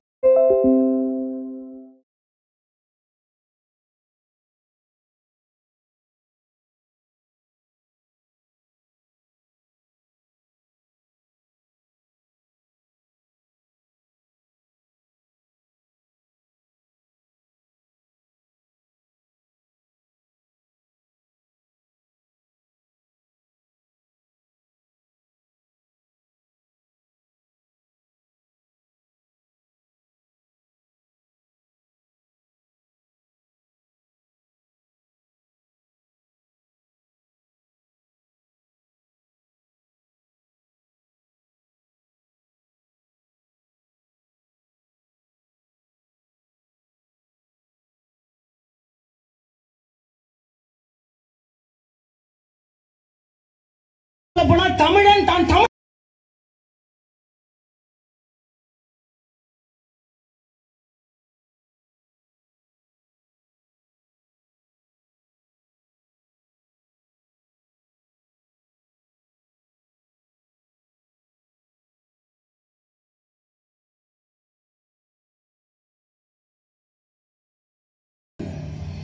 அதே கதையை வைகோ சொன்னார் பிறகு ஒவ்வொரு நடிகர்களாக வந்து கட்சி தொடங்கினாங்க. தேமுக திக தொடங்கப்பட்டது மக்கள் நீதி மையம் தொடங்கப்பட்டது. இன்னும் வருகின்றவர்கள் என்ன தொடங்க இருக்கிறாங்களோ தெரியல. இந்த கட்சிகள் எல்லாம் எல்லாம் தொடங்கப்பட்டது. நடைபெற்றுக் கொண்டது. எதற்காக தொடங்கப்பட்டது? தமிழருடைய நலம் தமிழருடைய வளம் தமிழருடைய உரிமை உங்களுக்கான பாதுகாப்பு இது எது ஒன்றுக்காவது தமிழ்நாட்டில் கட்சி தொடங்கப்பட்டதா? ஆனா நாம் தமிழர் கட்சி எதுக்கு தொடங்கப்பட்டது தெரியுமா? ஈழத்துல சிங்களவன் தமிழ் மக்களை அடித்தான். அதுக்கு பிறகு சுட்டு கொல்ல தொடங்கினான். பெண்களை பாலியல் வன்கொடுமைக்கு ஆளாக்கினான். வயிற்றில் இருந்த கருவுற்றிருந்த நிறைமாத கர்ப்பிணியினுடைய குழந்தையை பிறப்புறுப்பின் வழியா கையை விட்டு பிடுங்கி எறிந்து அதை கொன்றான். கண்ணை பிடுங்கி காலில் போட்டு மிதிச்சான். பொம்பளை பிள்ளைகளை நடக்க விட்டு உடைகள் எல்லாம் உருவி விட்டு மார்பங்களை பிடிச்சு நசுக்கி இது என்ன குண்டா? வெடிக்குமா? என்றெல்லாம் பேசினான். லட்சக்கணக்கான மக்களை ஒரே நாளில் கொன்று குவிச்சான் ரெண்டாயிரத்தி ஒன்பது. யாருமே கேட்கலங்க. தமிழினத்தின் தலைவர் என்று சொன்ன கருணாநிதி வேடிக்கை பார்த்து கொண்டிருந்தார். ஒரு உண்ணாவிரத நாடகத்தை அரங்கேற்றினார். காலைல எட்டு மணிக்கு போய் பதினொரு மணிக்கு உண்ணாவிரதத்தை முடிச்சிட்டாங்க. யாருமே கேட்கல. ஒரு ரத்த சகதி அந்த நந்திக்கடல் முழுமைக்கும் ரத்த கடலாக மாறி போனது கேட்பதற்கு கேட்பாரற்ற பிள்ளைகளாக தமிழ் மக்கள் மாறி போனோம் அப்போ வந்து எங்கள் அண்ணன் சீமான் ஒவ்வொருத்தட்டையாக ஓடுறாரு. ஏதாவது பண்ணுங்க அந்த போரை நிறுத்துவதற்கு ஏதாவது பண்ணுங்க. யாருமே தலையிடலைங்க. யாருமே தலையிடல அப்போ இருந்த ஒவ்வொரு அமைப்புகள் சங்கங்கள் அந்த மாதிரி ஒரு சில பேர் போராடினாங்க. உண்ணாவிரதம்லாம் இருந்தாங்க. ஆனா அதிகாரமாக யாரும் எதுவும் செய்ய முடியல. அதற்கு என்ன தேவை? உலகத்துல எல்லா நாடுகளிலும் தமிழன் இருக்கிறான். ஆனா தமிழனுக்கு என்ற ஒரு தனி நாடு என்ன செய்வது? நமக்கான அதிகாரம் தேவை. உலகத்தின் மா என்ன அம்பேத்கர் சொல்லுகிறார். அதிகாரம் மிக வலிமையானது அப்படின்னு. அதனை விட எங்க அண்ணன் சேர்த்து சொல்றார் அதை அடைந்து விட்டால் அனைத்தும் எளிமையானது. அது எளிய மக்களுக்கான அதிகாரமாக இருக்க வேண்டும் என்று சொன்னார். அப்படி தமிழ் மக்களுக்கான நிலத்தை மீட்டுக் கொடுக்க வேண்டும். அவன் நிலத்தை அவன் ஆள வேண்டும் என்பதற்காக உருவாக்கப்பட்டது தாங்க நாம் தமிழர் கட்சி. நீங்க நினைச்சிட்டு இருக்கீங்க ஏன் தமிழ ஆளலையா? எங்க ஆண்டிருக்காங்க? எனது பாட்டன் காமராசருக்கு பிறகு இந்த நிலத்தை ஆண்ட ஒரு தமிழன் சொல்லுங்க. நீங்க எடப்பாடியை சொல்லலாம். இந்த மண்ணின் மீது அக்கறை கொள்ளாதவர்களை நாங்கள் தமிழர்கள் என்றே ஏற்றுக்கொள்ள முடியாத அளவிற்கு தான் இந்த இந்த நிலைமை தள்ளப்பட்டிருக்கிறது. ஐயா காமராசருக்கு பிறகு ஐயா கலைஞர் ஐயா எம்ஜிஆர் அம்மையார் ஜெயலலிதா தற்போது ஆண்டு கொண்டு கொண்டு இருக்கிறாரே ஐயா ஸ்டாலின் இவர் யாராவது இந்த மண்ணுக்கு சொந்தக்காரர்களா? ஒரு தமிழனுக்கு அவனுடைய தலைவனாக இருக்கக்கூடியவன் யாராக இருக்க முடியும்? எங்க அப்பாவை தாங்க நான் அப்பான்னு சொல்ல முடியும். இன்னொருவரை நான் அப்பா என்று சொல்வது எவ்வளவு அபத்தமோ அப்படிப்பட்ட அபத்தம் தான் எங்கிருந்தோ வந்தவர்களை தமிழினத்தின் தலைவர் என்று சொன்னது. அந்த சூழலுக்கு தள்ளப்பட்டோமா இல்லையா நாம? ராஜராஜ சோழன் கரியார் பெருவெளத்தானுக்கு பிறகு இந்த நிலப்பரப்பை சோழ நிலப்பரப்பை தமிழர்களுடைய நிலப்பரப்பை பாண்டிய நிலப்பரப்பை சேர நிலப்பரப்பை எத்தனையோ பேர் ஆண்டுட்டான் நாயக்க மன்னர்கள் ஆண்டாங்க முகலாய மன்னர்கள் ஆண்டாங்க பிரெஞ்சுக்காரர்கள் ஆண்டாங்க டச்சுக்காரர்கள் ஆண்டாங்க போர்ச்சுகீசியர்கள் ஆண்டாங்க வெள்ளைக்காரர்கள் ஆண்டாங்க. இவற்றுக்கெல்லாம் பிறகு இந்த தமிழர் நிலத்தை ஒரு தமிழன் ஆள வேண்டும் என்பதற்காக உருவாக்கப்பட்டதுதான் நாம் தமிழர் கட்சி. ஆயிரம் ஆண்டு கால போராட்டம். ஆனா தமிழனுடைய அறம் மிக வலிமையானது. அதை நாங்க நம்புறோம். எங்களை எல்லாரும் கேட்பாங்க. நீங்க கொஞ்சம் கொஞ்சமா தான் ஓட்டு வாங்குறீங்க. எப்ப ஜெயிப்பீங்க? அறிவு சிறந்த பெருமக்களை தமிழ்நாட்டில் மூன்றாவது பெரிய கட்சி நாம் தமிழர் கட்சி. தமிழ்நாட்டில் மூன்றாவது பெரிய கட்சி. ஆயிரம் கட்சிகள் தொடங்கப்பட்டது. அது தனித்துவத்தை இழந்து நிற்கிறது. ஆனா தனியே நின்று திமிரோடு தனித்துவத்தை பெற்று நிற்கிறது நாம் தமிழர் கட்சி. ஓட்டுக்கு பணம் கொடுக்காது கோட்டு கோழி பிரியாணி கொடுக்காது கமிஷன் கரப்ஷன்லாம் இல்லாது ஒரு கட்சி மூன்றாவது படிநிலைக்கு உயர்ந்திருக்கிறது என்று தமிழர் மக்கள் நீங்கள் நினைத்தால் அறம் வாய்ந்தவர்கள் நினைத்தால் உண்மையிலேயே இந்த மண்ணுக்கான அரசியலை விதைக்க வேண்டும் என்ற மக்கள் நினைத்தால் நாளைக்கு நாங்கள் தான் முதலிடம். சிந்திச்சு பார்க்கணும் நீங்க. எது அரசியல்? பணக்காரர்கள் செய்வது அரசியலா? பகட்டுக்காரர்கள் செய்வது அரசியலா? அல்லது பாமரன் செய்வது அரசியலா? எது அரசியல்? திமுகவுல ஒரு எம்எல்ஏ சீட்டு. காசு கொடுக்காம வாங்கிட்டு வாங்க.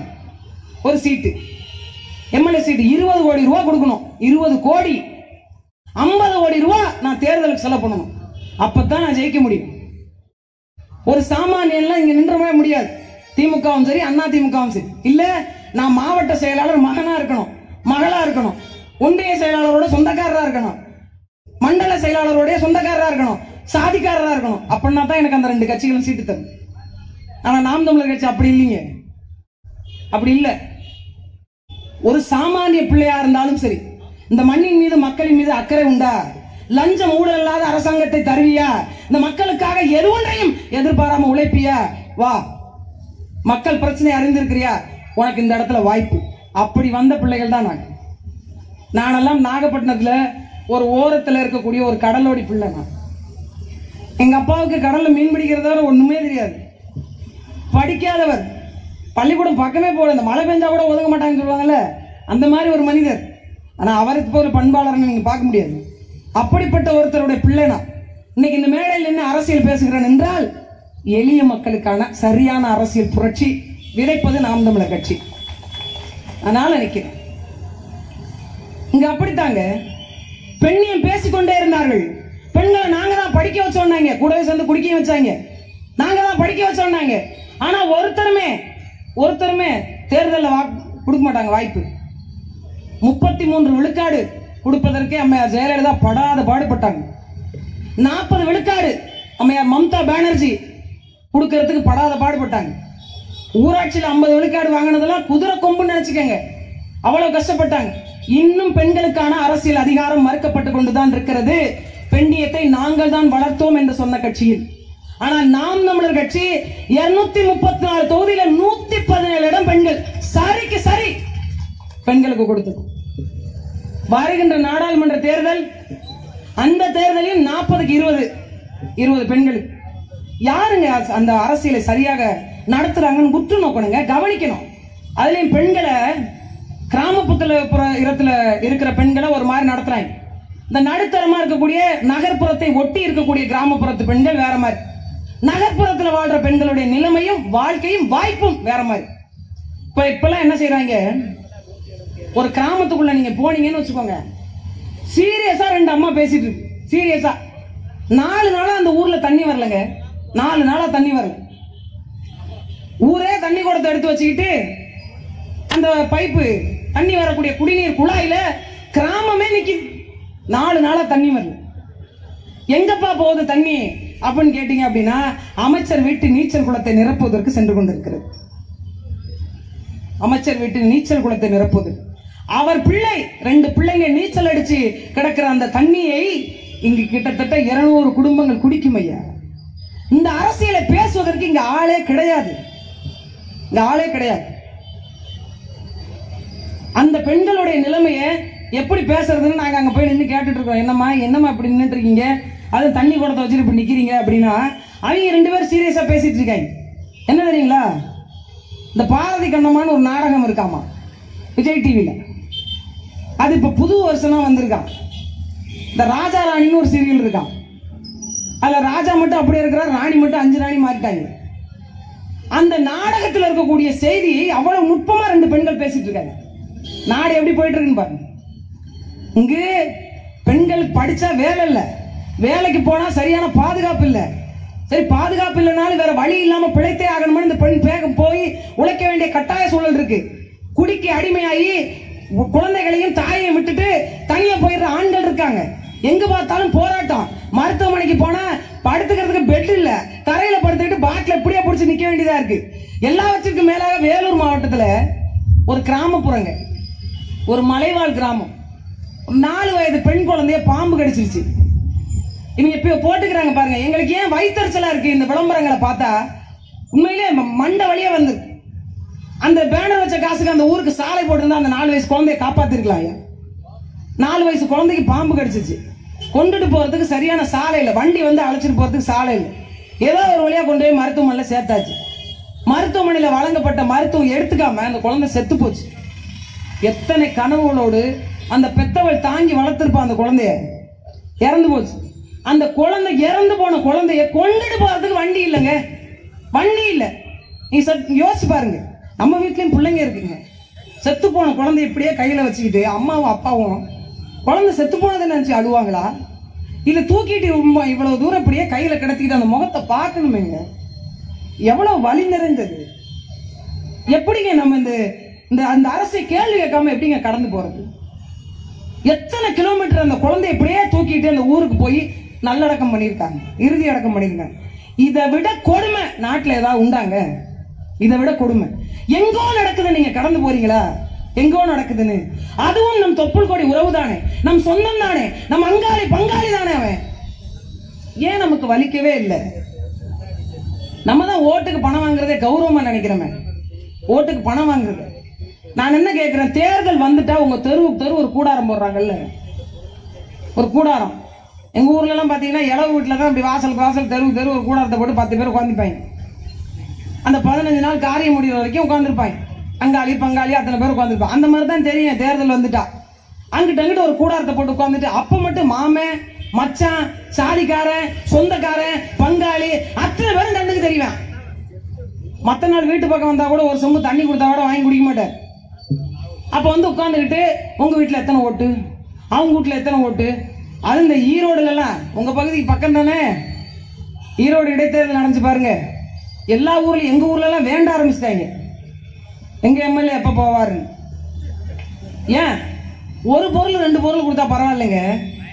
இந்த கண்ணு முன்னாடியே புடவை தோடு மூக்குத்தி கொலுசு தொங்கட்டான் பாலில் வச்சு காசு சத்தியம் வாங்குறது. அதுக்கப்புறம் என்ன குக்கரு கிரைண்டரு ஸ்மார்ட் வாட்ச் அம்புட்டு பொருள் கொடுக்குறாங்க. நீங்க என்ன பண்ணீங்க? ஒரு வீடு மட்டும் வாடகைக்கு எடுத்துங்க இவங்க கொடுக்குற பொருளை வச்சு நீங்க குடும்பமே நடத்திடலாம். அம்புட்டு பொருள். அதுலயும் பள்ளிக்கூடத்துக்கு போயிட்டு வரானுங்க பாருங்க இந்த பசங்க. அவங்க கிட்ட நூறு ரூபா இந்த நோட்டீஸ் அங்க ஒட்டிடுப்பா. லஞ்சத்தை எங்க இருந்து தொடக்குறாங்க பாரு. இவ்வளவு பணம் செலவழிக்கப்பட்டுச்சு ஈரோடு தேர்தல். ஒரு ஓட்டுக்கு ஐயாயிரம் ரூபா ஒரு நாளைக்கு ஆயிரம் ரூபா மக்களை கூட்டி வந்து கூட்டி வந்து ஒரு ஒரு முகாம்ல மாதிரி பட்டி மாதிரி முகாம்ல மாதிரி கொண்டு வந்து அடைச்சு அடைச்சு ஒரு தேர்தலை கையாண்டாங்க. நான் என்ன சொல்றேன்? இவ்வளவு சிரமப்பட்டு வெல்வதற்கு பதிலாக அவங்க கேட்கிற சாலை அவங்க கேட்கிற குடிநீர் நல்ல கல்வி நல்ல மருத்துவம் இவற்றையெல்லாம் கொடுத்துட்டா தாராளமா வென்றுட்டு போயிடலாம்ல? தாராளமா வென்றுட்டு போயிடலாம்ல? ஏன் இதை செய்ய மறுக்கிறாங்க? ஏன் இந்த குடிக்கடையை மூடுவதற்கு அரசு தயங்குது? திமுக ஆட்சி அதிகாரத்துல இல்ல. அண்ணா திமுக இருக்கும்போது அந்த மகளிர் அணி பொறுப்பாளராக இருந்த மரியாதைக்குரிய திமுகவினுடைய நாடாளுமன்ற உறுப்பினராக தற்போது கூடிய கனிமொழி அவர்கள் சொன்னார். நான் சொல்றதெல்லாம் நீங்க ரெண்டாம் பட்சமா எடுத்துக்கங்க. ஏன்னா நான் ஆட்சியிலும் இல்லை அதிகாரத்திலும் இல்லை. ஒரு எங்கேருந்து வந்த ஒரு பிள்ளை நினச்சிக்கோங்க. ஒரு நாடாளுமன்ற உறுப்பினர் அந்த அம்மா சொன்னாங்க தமிழ்நாட்டில் இளம் விதவைகள் அதிகமாயிட்டாங்க. இந்த குடிக்கடைகளால் நாடு நாசமா போய் தொலையுது. அதனால மதுக்கடைகளை மூடுங்க அப்படின்னு இங்க உள்ள அமைச்சர் உட்பட அத்தனை பேரும் கருப்பு கொடி ஏந்தி டாஸ்மாக் கடைகளை மூட சொல்லி போராடினாங்க. அப்பவும் அந்த அம்மா ஆலையில தான் சாராயம் போச்சு. அந்த அம்மா ஆலையில இருந்து சாராயம் போச்சு. அரசாங்கத்துக்கு. மூட சொன்னாங்க. இப்போ ஊடகத்துக்காரங்க போய் கேள்வி கேட்கறாங்க நீங்க ஆட்சிக்கு வந்தா நாங்க மதுக்கடையில மூடிடுவோம்னு சொன்னீங்களே. ஏம்மா மூடல அப்படின்னு கேட்டா மூடுறோம்னு சொன்னோம். சொன்னோமா? சொல்லியிருப்போம். மூடுவோம். மூடாமலும் இருப்போம். வந்து எப்படிப்பட்ட ஒரு சூழல்ல வாழ்றோம் பாரு ஏன்? இவர்களுக்கு ஒன்று தாங்க குறிக்கோள். ஒன்றே ஒன்றுதான். பணம் சம்பாதிப்பது.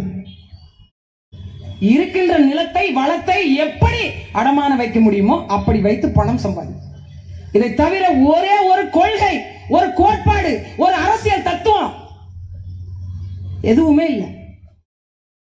இன்னைக்கு மின் கட்டண உயர்வு. அடுத்து ரெண்டு துறையுமே இவரோட தான். மின் கட்டண உயர்வு. ஒரு பக்கம் யாரோ பில்லி சூனியம் பண்ணிட்டாங்கண்ணே. பண்ணிட்டாங்க. யாருன்னு எனக்கு தெரியும். என்ன நடந்து போச்சுன்னா இதெல்லாம் தெரிஞ்சுக்கணும். இந்த ம- டாஸ்மாக் ஒயின் ஷாப்புக்கு பாட்டில் வருது பாருங்க ஒரு லாரி. அந்த லாரிக்கு ஒப்பந்தம் மேற்கொண்டிருக்கிறாங்க. அந்த ஒப்பந்தத்தினுடைய கால அளவு முடிஞ்சிருச்சு. ஆனாலும் அந்த ஒப்பந்தக்காரர் என்ன பண்ணியிருக்கிறாரு? கொஞ்ச நாளைக்கு நீட்டிச்சு கொடுங்க. அடுத்த டெண்டர் விடுற வரைக்கும் எனக்கு நீட்டிச்சு கொடுங்க அப்படின்னு கேட்டிருக்காரு.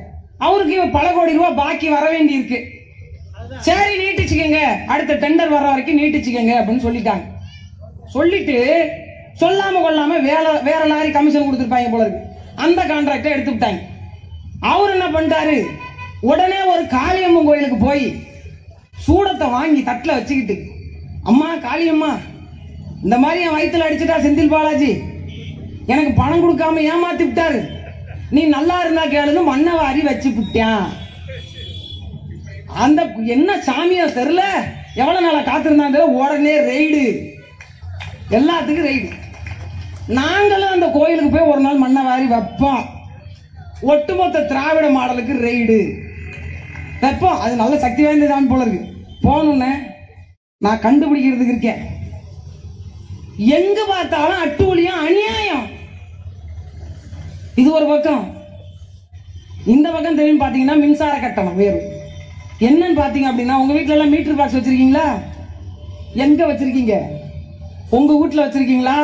இல்ல கவர்மெண்ட் அதுக்குன்னு ஒரு செட்டர் போட்டு வச்சிருக்காங்களா? உங்க வீட்டில் தானே வச்சிருக்கீங்க? ஒரு மின் கட்டண இணைப்பு பெறும்போது மீட்டர் பாக்ஸுக்கு காசு கொடுக்குறோமா இல்லையா? கொடுக்குறோமா? நாம காசு கொடுத்து வாங்கின அந்த மீட்டர் பாக்ஸை அளவீட்டு கருவியை என் வீட்டில் நான் வச்சிருக்கேன். உங்களுக்கு தெரியுமா? உங்களுக்கு தெரியாமலே மாதம் எழுபது ரூபாய் வாடகை செலுத்துறீங்க. மாதம் எழுபது ரூபா. என் வீட்டில் வச்ச மீட்டர் பாக்ஸுக்கு நானே வாடகை கட்டுறேன் சொந்த வீட்டுக்கு. இதுல இப்ப மின்சார கட்டணம் கூடுதலா வருது. என்ன பண்ண போறீங்க? பேசாம அந்த ஆயிரம் ரூபாய வாங்காம இருந்து விவசாய சின்னத்துக்கு ஓட்டு போட்டிருந்தா நல்ல சாலையில போயிருந்துருக்கலாமா? தண்ணி வீடு தேடி வந்திருக்குமா? மின் கட்டணம் சரியா இருந்திருக்குமா? படிச்சவனுக்கு வேலை கிடைச்சிருக்குமா? ஆடு மாடு மேய்த்தல்ல இருந்து விவசாய ப- பணிகள் எல்லாம் அரசு பணியா மாத்திருப்போமா? பெண்களுக்கு பாதுகாப்பு உறுதி செய்யப்பட்டிருக்குமா? அவள் கண்ணோட்டத்தின் வழியாக சட்டங்கள் இயற்றப்பட்டிருக்குமா? நல்ல மருத்துவம் கிடைச்சிருக்குமா? நல்ல கல்வி கிடைச்சிருக்குமா? அரசு அதிகாரிகள் இருந்து அமைச்சர் வீட்டு பிள்ளைகள் வரைக்கும் அரசு பள்ளியில் படிச்சிருக்குமா? ஒரே ஒரு நீங்கள் வைத்த மை தமிழ்நாட்டை கரும்புள்ளியாக மாற்றிடுச்சு. புரிஞ்சு போச்சா? நாங்கள் என்ன கேட்குறோம் உங்கள்கிட்ட நாங்கள் என்ன கேட்குறோம் ஒரு சாமானிய வீட்டு பிள்ளைங்க நாங்கள் சாமானிய வீட்டு பிள்ளைங்க. நாங்கள் ஓட்டு காசு தர மாட்டோம். தெளிவாக தான் சொல்கிறோம் உங்களுக்காக உழைக்க தயாராக இருக்கோம்.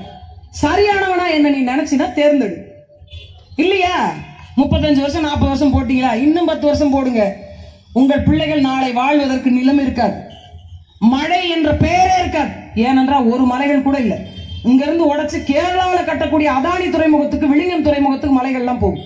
மணல் லாரி லாரியாக உங்கள் கண்ணு முன்னால் அள்ளி கொண்டு போறாங்க மணல் இல்லை என்றால் நீர்வரத்து இல்லை நிலத்தடி நீர் இல்லை. மரங்கள் வெட்டப்படுகிறது. எட்டு வழி சாலை பத்து வழி சாலைன்னு.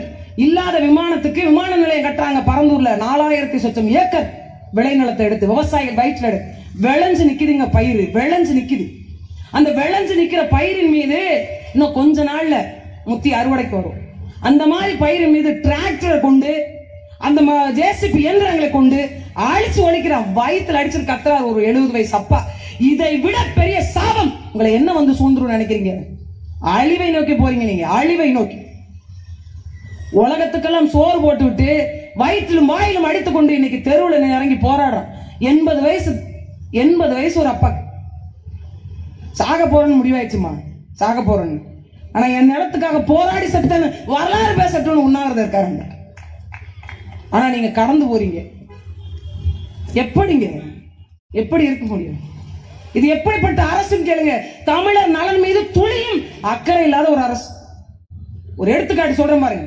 ராமேஸ்வரத்துல ஒரு கடலோடி பெண் பாசி எடுக்க போனோம் ஆறு வட மாநிலத்துக்காரனால வட மாநிலத்தவன் பற்றி ஒரு சின்ன கணக்கெடுப்பு கூட இல்லாத இந்த அரசினுடைய கவனக்குறைவினால போதை பொருட்களை எங்கு பார்த்தாலும் கஞ்சாக்களை வ- காரணமாக ஆறு பேர் ஒரு பெண்ணு நாற்பத்தஞ்சு வயது இருக்கும் அவங்களுக்கு. மூன்று பெண் குழந்தைகள் இருக்காங்க அவங்களுக்கு. அவங்கள கூட்டு பாலியல் வன்கொடுமை செஞ்சு நீங்கள் சினிமாக்களில் பார்த்தீங்க நிர்பயா வழக்கை பார்த்தீங்க டெல்லியில் நடந்த குற்றச்சம்பவங்களை பார்க்குறீங்க. ஆனால் நம்ம ராமேஸ்வரத்தில் நம்ம பிள்ளை நம்ம ரத்த பிள்ளை ஆறு பேர் சேர்ந்து பாலியல் வன்கொடுமை செஞ்சு கால் தலையில வந்து கல்லை தூக்கி போட்டு கொள்றாங்க கல்லை தூக்கி போட்டு.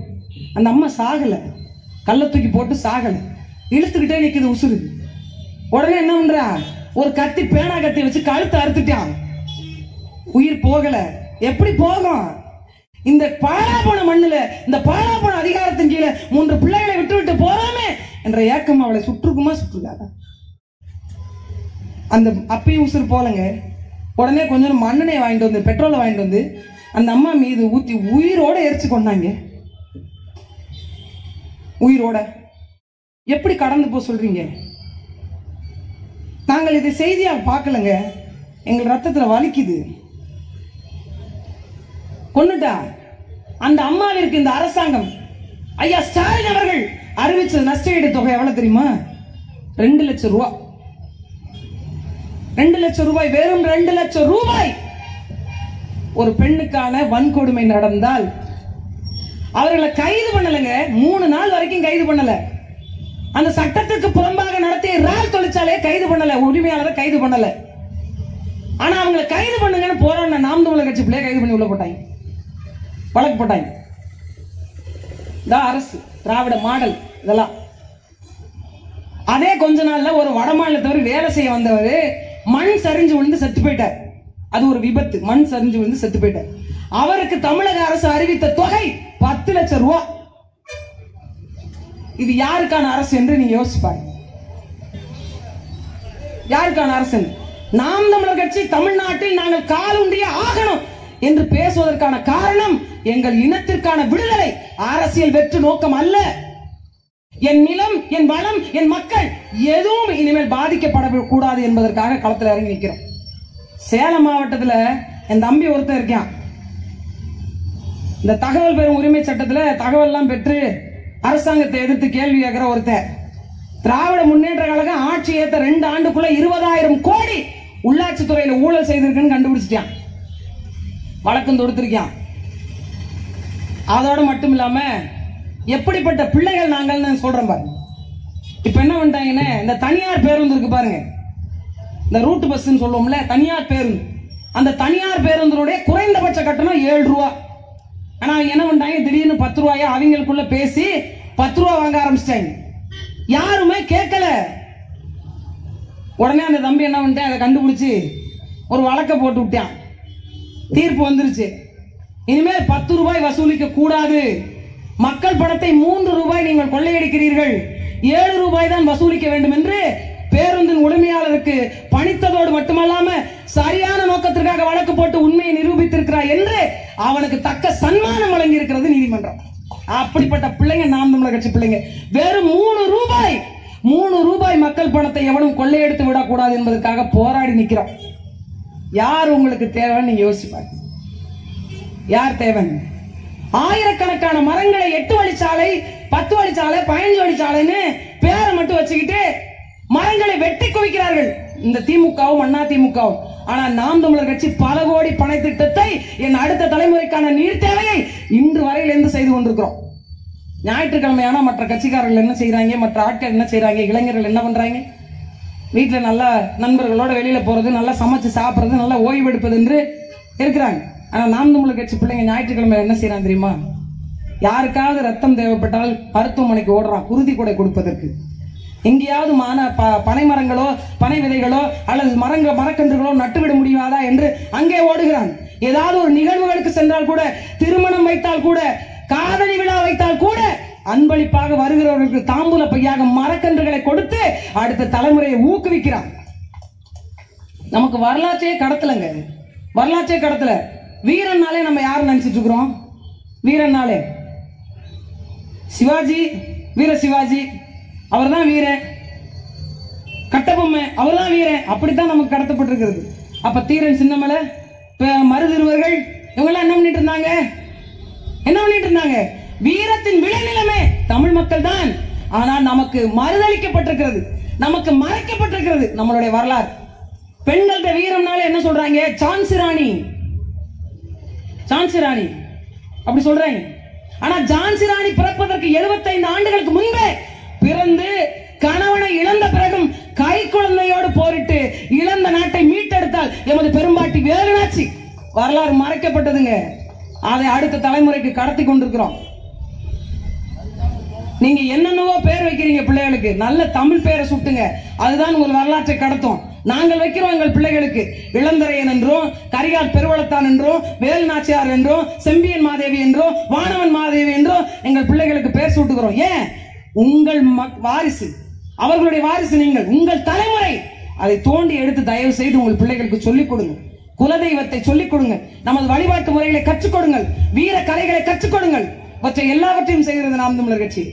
கட்சி நடத்திட்டு நாலு கொடியை ஊனிட்டு கோஷம் போட்டுட்டு ஸ்டேஜுக்கு பின்னாடி போய் ஆயிரம் ரூபாய் பணத்தை வாங்கிட்டு போற கூட்டம் அல்ல. இழந்த தமிழர்களுடைய கலையை மீட்டெடுத்து கொடுப்பதற்கு வீரக்கலை பாசறை. தமிழ் எழுத்தில் எந்த கலப்படம் வந்துவிடக்கூடாதுக்காக தனித்தமிழுக்கு வித்து வித்திட்டவர்களே அவருடைய வம்சாவளியினர் போன்று தமிழ் மீட்சி பாசறை தமிழ் ஆட்சி மொழியாக ஏற்கட்டலில் ஏற்ற வேண்டும் என்பதற்கான தமிழ் மீட்சி பாசறை. இறை வழிபாடு மறை வழிபாடு எல்லாவற்றையும் சரியாக செய்ய வேண்டும் என்று வீரத்தமிழர் முன்னணி நீ யார்? உன் வழிபாடு என்ன? உன் தெய்வம் என்ன? உன் பறை என்ன? உன் பண் என்ன? எல்லாவற்றையும் சொல்லிக் கொடுப்பதற்கு வீரத்தமிழர் முன்னணி. சுற்றுச்சூழலை பாதுகாப்பதற்கு சுற்றுச்சூழல் பாசறை. கடலோடி மக்களை பாதுகாப்பதற்கு மீனவர்கள் பெரும் பாசறை. குருதி கொடை பாசறை. நீங்க எந்த இடத்துல நின்னுட்டு ரத்தம் கேட்டாலும் உடனடியா பிள்ளைங்க வந்துடுவாங்க இப்படிப்பட்ட கட்சிங்க. இப்படிப்பட்ட ஒரு பேர் இயக்கம் நாம் தமிழர். எங்களுக்கான கோபம் ஏன் வருகிறது என்றால் அநீதி எங்கே நடந்தாலும் இறைவன் வருவான் என்று நீங்கள் நம்பிக்கொண்டே இருந்தீர்கள். அந்த இடத்தில் நாம் தான் அநீதியை எதிர்த்து போரிட வேண்டும் என்று நாங்கள் அதில் களமிறங்கி விட்டோம். உங்களையும் அழைக்கிறோம். அவ்வளவுதான். நீங்க சரியானது நடக்கணும்னு நினைச்சீங்கன்னா நல்ல ஆட்சி அதிகாரம் செழிக்கணும்னு நினைச்சீங்க அப்படின்னா உங்கள் தலைமுறை பிள்ளைகளுடைய துன்ப துயரங்கள் மண்ணோடு முடிந்துவிட வேண்டும். அடுத்த தலைமுறையாவது இந்த மண்ணில் தமிழ் மண்ணில் மாண்போடு வாழ வேண்டும். எதற்கும் கையேந்தாத ஒரு நிலையை அஞ்சுக்கும் பத்துக்கும் அரிசிக்கும் பருப்புக்கும் வரிசை நின்றது போதும். நல்ல நிலங்களை விளைவிப்போம். தரிசனமா உள்ளூர் மேம்பாடு நிலம் வளம் சார்ந்த தொழிற்சாலை எல்லோருக்குமான வேலை வாய்ப்பு பெண்களா பெண்கள் அவர்களுடைய வேலை ஆற்றலுக்கு தகுந்த வேலை வாய்ப்பு சரியான சம்பளம் தரமான கல்வி இலவச கல்வி ஆரம்ப கல்வியிலிருந்து ஆராய்ச்சி கல்வி வரைக்கும். நல்ல மருத்துவம் தூய குடிநீர் சரியான சாலை லஞ்சம் ஊழல் இல்லாத நேர்மையான நிர்வாகம் அனைத்தும் கிடைக்கணும் அப்படின்னா நாம் தமிழர் கட்சிக்கு வாங்க.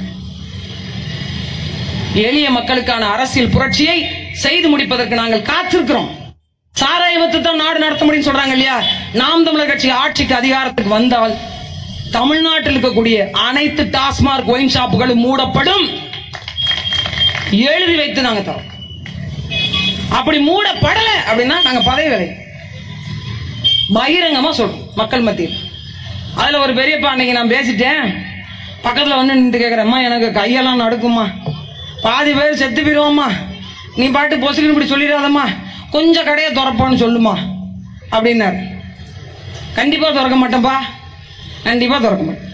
மாறாக அமிர்தம் இருக்கு பாருங்க.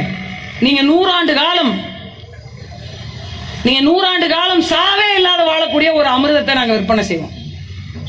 பார்க்கடலை கடைஞ்சி என்ன பார்க்கடலை வாசிகின்ற பாம்பை விட்டாவது கரைச்சி கொண்டு வந்து உங்களுக்கு நாங்கள் அமிர்தத்தை தருவோம். அப்படிதான் நமக்கு கதை சொன்னாங்க. உண்மையிலே அமிர்தம் அது இல்ல. பனை மரத்திலிருந்தும் தென்னை மரத்திலிருந்தும் இறக்கக்கூடிய அந்த நம்மளுடைய உணவு பொருளாக இருக்கக்கூடிய கல் தான் அமிர்தம். இந்த பனம்பால் தென்னம்பால் உங்களுக்கு ஊட்டச்சத்து உணவாக ஊட்டச்சத்து பானமாக கொடுப்போம். கண்டிப்பாக இந்த டாஸ்மார்க் மதுக்கடைகளை மூடிடுவோம். இந்த இப்ப கள்ளச்சாராயம் வித்தாங்க பாருங்க விழுப்புரத்துல. அதுலயும் மருத்துவமனைக்கு போனேன்னு நானு. அந்த ஊருக்கு போனேன். எப்படிப்பட்ட மருத்துவம் தெரியுங்களாண்ணே? அட்மிட் ஆன உடனே போன உடனே டயாலிசிஸ் பண்றேன்னு இந்த கழுத்துல ஒரு ஓட்டையை போட்டு விட்டுறாங்க. எல்லாருக்கும் வரிசையா போட்டு விட்டு படுக்க வச்சிட்டாங்க. கடைசியா ரெண்டு பேரை போய் அட்மிட் பண்ணாங்கண்ணே. இவர் பார்த்தாரு. போன ஒரு அரை மணி நேரத்துக்கு ஒரு தடவை சாவு செய்தி. வந்துகிட்டே இருக்கு. நான் அந்த கிராமத்துல தான் இருக்கேன். வந்துகிட்டே இருக்கு. முன போன குப்பம் செத்துட்டாரு சுப்பம் செத்துட்டாரு ரங்கசாமி செத்துட்டாருன்னு வந்துகிட்டே இருக்கு. இந்த ரெண்டு பேரும் பார்த்தாங்க இல்ல போனா நம்மளை போட்டு தள்ளிடுவானோ போல இருக்குன்னு. மருத்துவமனையில இருந்து தப்பிச்சு விட்டாங்க ரெண்டு பேர். இவங்க கொடுத்த மருத்துவத்துல பார்த்து வியந்து தப்பிச்சு விட்டாங்க தப்பிச்சு ஓட்ட ரெண்டு பேரும் முளைச்சிக்கிட்டாங்கண்ணே அம்புட்டு பேரும் குளோஸ். இதுல கள்ள சாராயத்தை நாங்கள் ஒழிப்போம். அப்படி சொல்லிட்டு ஒரே நாள்ல இருபத்தி ரெண்டு மணி நேரத்துல ரைடு விட்டு ஆயிரத்தி முன்னூத்தி சொச்சம் பேரை உள்ள போட்டாங்க. அதுல இளவு என்ன நடந்து போச்சுன்னா கள்ள சாராயம் வித்தவன் பாதி பேர் வெளில இருக்கான் கல் இறக்கிட்டு இருந்தாங்க பாருங்க.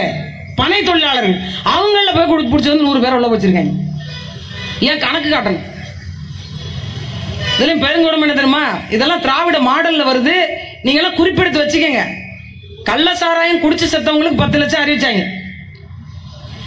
அதை வித்தார் பார்த்தீங்களா ஒருத்தர்? அவர் டெஸ்ட் பார்க்க ரெண்டு லோட்டா உள்ள இறக்கியிருக்காரு போல அவரும் போய் ஆஸ்பத்திரியில் படுத்துக்கிட்டாரு. முதல்ல அவர் போலன்னு தலைமுறையாக இருந்துட்டாரு. அப்புறம் போகிறவன் அம்புட்டு பேரும் செத்து போயிடறான் செய்தி வந்தோடனே இவரும் போயிட்டு நானும் குடிச்சங்க அப்படின்னு படுத்துக்கிட்டாரு. ஒரு இடத்துல காய்ச்சினதே இவரு தான் தெரிய வந்துருச்சு. அவருக்கு ஐம்பதாயிரம். நஷ்டஈடு கொடுத்தாங்க இவங்க. யார் காய்ச்சி வித்தார் பாருங்க. இருபத்தேழு பேருக்கு சாவுக்கு காரணமா இருந்தவருக்கு ஐம்பதாயிரம் நஷ்டஈடு கேட்டது என்ன சொல்லிட்டாங்க? இல்லைங்க தவறுதெல்லாம் நடந்து போச்சு. தவறுதெல்லாம் நடந்து போச்சு. தெரியாம நாங்க கொடுத்துட்டோம். அப்படின்னு சொல்ல வேலை முடிஞ்சிருக்கோம். நம்ம அமைச்சர் ஒருத்தர் அவருக்கும் குடும்பம் இருக்கா இல்லையா? நம்ம பாதுகாக்கணும்ல. எல்லா களவாணி தனத்துக்கும் கத்து வச்சிருக்காங்கண்ணே. நாங்க என்ன சொல்றோம்? கொலை பண்றவனுக்கும் குடும்பம் இருக்கா இல்லையா? இந்த ஜெயில இருக்கிற அம்புட்டு பேருக்கு மாசம் கொஞ்சம் கொடுத்துட்டு இருந்தீங்கன்னா நல்லா இருக்கும்ல?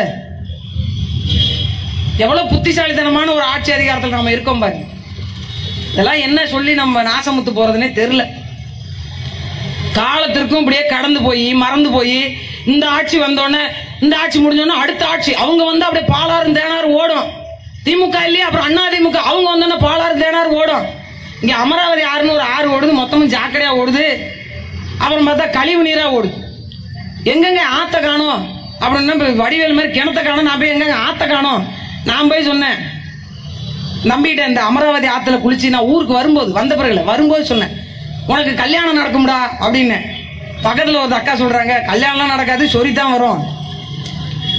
தயவு செஞ்சு அங்கே போயிடாதீங்க தம்பி. இந்த அமராவதி ஆறு ஒரு நாற்பது ஐம்பது ஆண்டுகளுக்கு முன்பு எப்படிங்க ஓடுச்சு? வயதில் பெரியவர்கள் என் பெற்றோர்கள் என் தகப்பன் வயதுடையவர்கள்லாம் இருக்கீங்க. எப்படி இருந்துச்சு? இப்படியா இருந்தது? இதற்கு காரணம் யாரு? வளங்கொலிக்கின்ற அந்த ஆறு இன்னைக்கு சாக்கடை கழிவுகளாலும் இந்த மாதிரி தொழிற்சாலை கழிவுகளாலும் சாய கழிவுகளால் நிறைஞ்சிருக்கே இதுக்கு காரணம் யாரு? இங்க இருக்கக்கூடிய பிரச்சனைகளுக்கு எல்லாம் காரணம் யாரு? வேலையில்லா திண்டாட்டத்துக்கு காரணம் யாரு? மக்களுக்கு நல்ல கல்வி கிடைக்காத போனதுக்கு காரணம் யாரு? யாரு? நீங்கள் வாக்கு செலுத்தியவர்கள் தான். நீங்கள் வாக்கு செலுத்தியவர்கள் தான். உங்களுடைய வரி பணம் கொள்ள போயிட்டு இருக்கின்றத கூட நம்ம மறந்துட்டோமே. கொள்ள போயிட்டு இருக்கின்றத கூட. பேருந்துல இலவசம் சொன்னோடனே அத்தனை பேரும் போய் ஓட்டு போட்டாங்க. இப்ப அவங்க சீட்ல உட்கார விட மாட்டார் கண்டக்டர் ஓசி தானே? நின்று வாயா. காசு கொடுத்து வர்றவங்க உட்காருவாங்கல்ல? அப்படித்தான் பேசப்படுகிறது. ஏன்?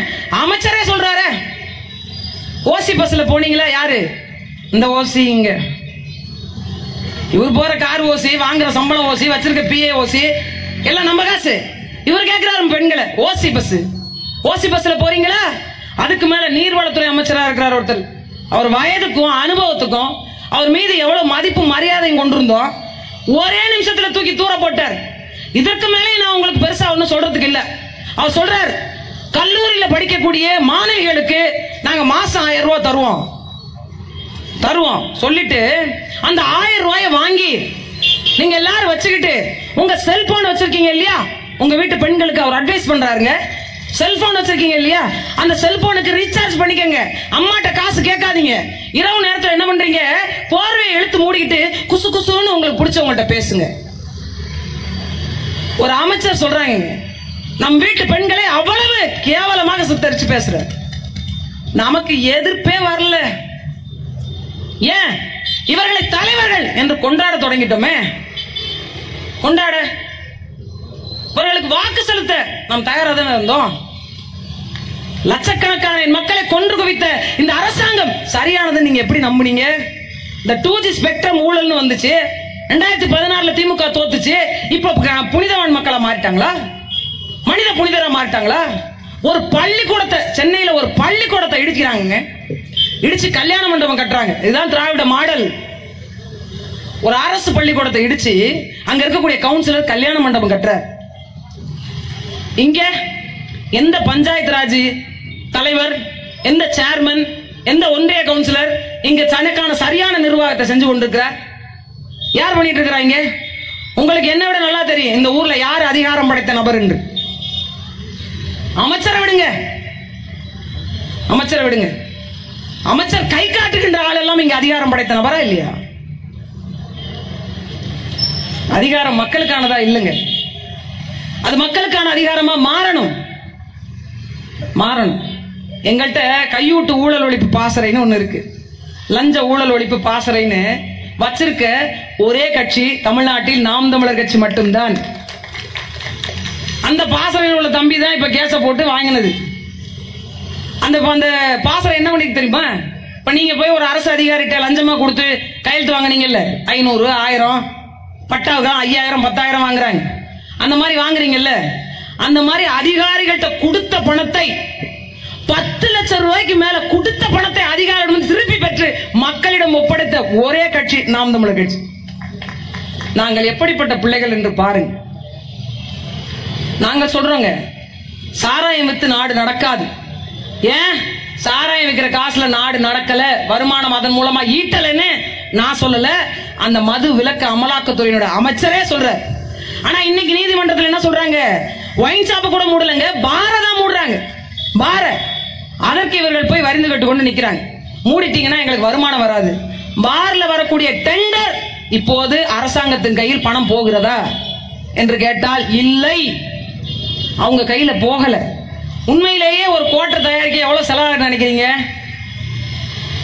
நூத்தம்பது ரூபாய்க்கு தானே நூத்தம்பது ரூபாயா? பத்து ரூபா சேர்த்து நூத்தி அறுபது ரூபா. உண்மையிலேயே தயாரிப்பு செலவு எவ்வளவு தெரியுமா? ஆ? இருபத்தி மூன்று ரூபாய் இருபத்தி மூன்று ரூபாய் அரசின் வரியோடு சேர்த்து முப்பத்தி மூன்று ரூபாய் அதிகபட்சம் நாற்பது ரூபாய்.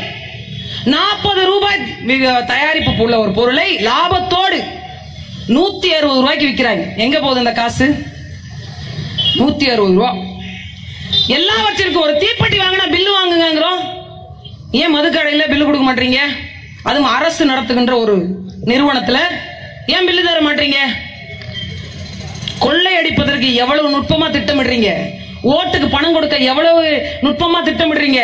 இந்த வீட்டுல இந்த வாக்கு இருக்கு இந்த வீட்டுல இந்த தெருவுல இந்த சமூகம் இருக்கு. இவங்கள்ட்ட இப்படி பேசிதான் ஓட்டு வாங்கணும். இவங்கள்ட்ட இந்த உடை அணிஞ்சுதான் ஓட்டு வாங்கணும். இவங்களோட போனா தான் ஓட்டு வாங்கணும். இந்த தலைவரை பிடிச்சாதான் ஓட்டு வாங்கணும். எவ்வளவு நுட்பமா வேலை செய்றீங்க? அதுல பத்து விழுக்காடு மக்கள் நலனுக்காக திட்டமிட்டு செலவு செஞ்சிருந்தீங்கன்னா நாடு என்னைக்கோ நல்லரசாக மாறி ஏழ்மை நிலையே இருந்திருக்காது. நாங்க ஒவ்வொரு குழுலையும் போய் ஒவ்வொரு பேங்க்லையும் போய் கடன் வாங்கி கடன் வாங்கி கடன்காரர்களாக மாறி போனோம். எங்க வீட்டு பெண்கள்லாம் இப்ப வட்டமா உட்காந்துக்கிட்டு மைக்ரோ பினான்ஸ் கம்பெனி வந்து சிரிக்கிறாங்க.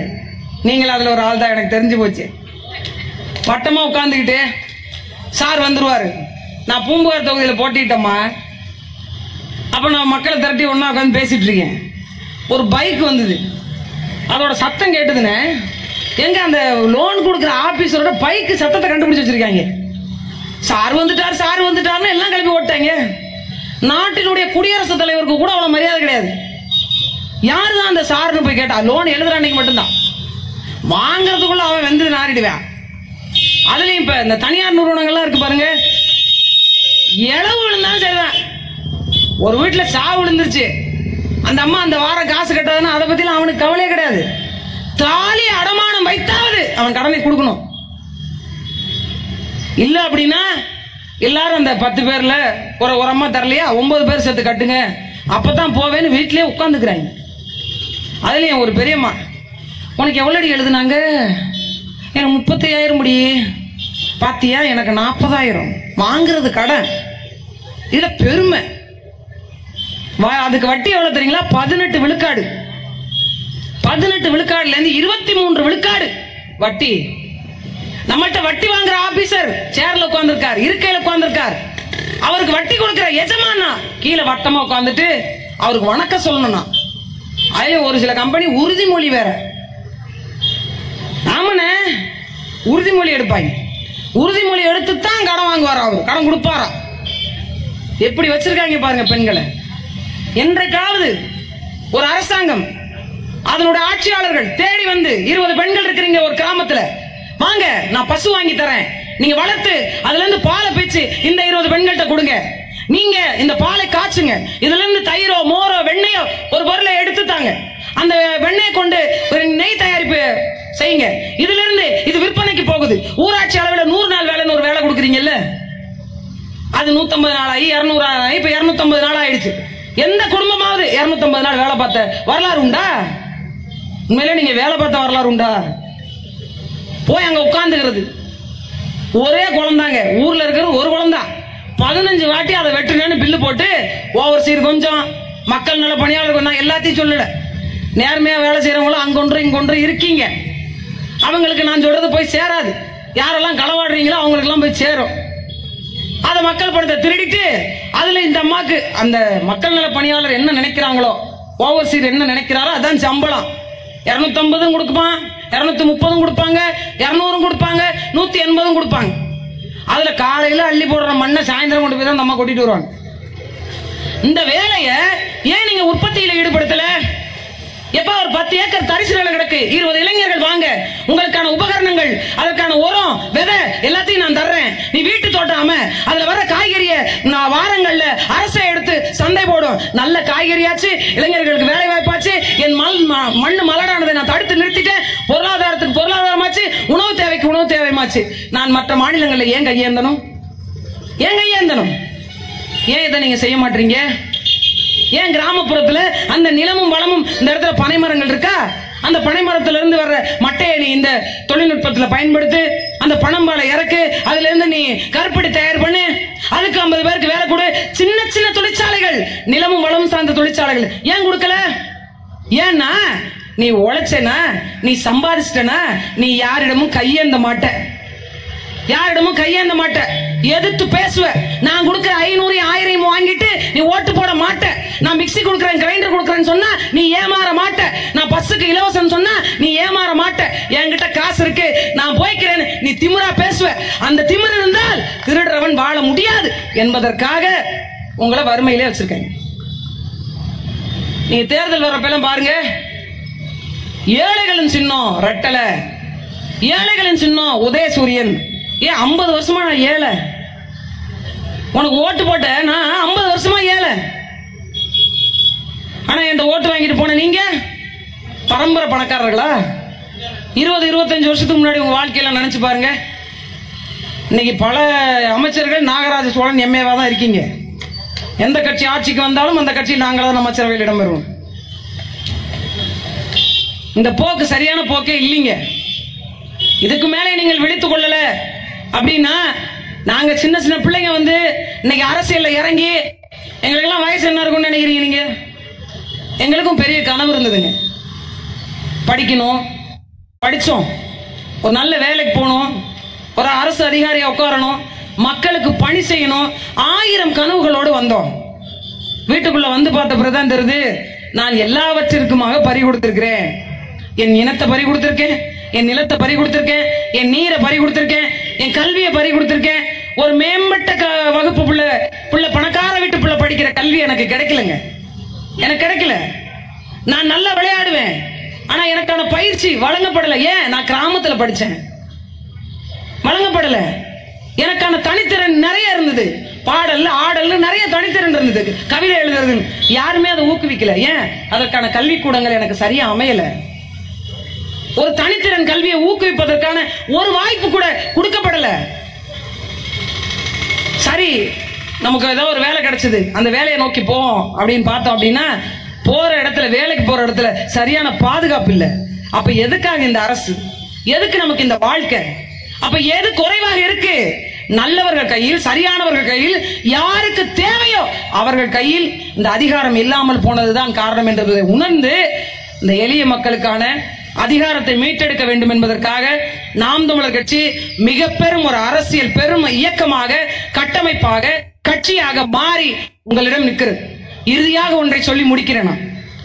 இந்த வீதி எங்கும் பறக்குது பாருங்க. புலிக்கொடி. இது யார் பிடிச்ச கொடின்னு உங்களுக்கு நல்லாவே தெரியும்.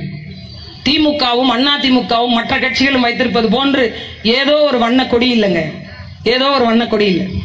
ஆயிரம் ஆண்டுகளுக்கு முன்பு அறம் வாய்ந்த தமிழ் மக்கள் பிடித்த சோழர் நிலத்தினுடைய பெருங்கொடியாம் புலிக்கொடி. ஆயிரம் வருஷம் ஆச்சுங்க.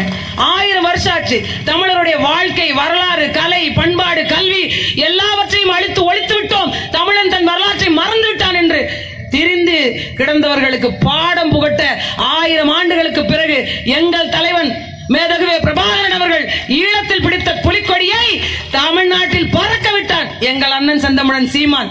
தமிழனுடைய அறமும் வரலாறும் வாழ்க்கை நெறியும் ஒருபோதும் எவனாலும் அழிக்க முடியாது என்பதற்கான ஆக பெரும் உதாரணம் இந்த புலிக்கொடி.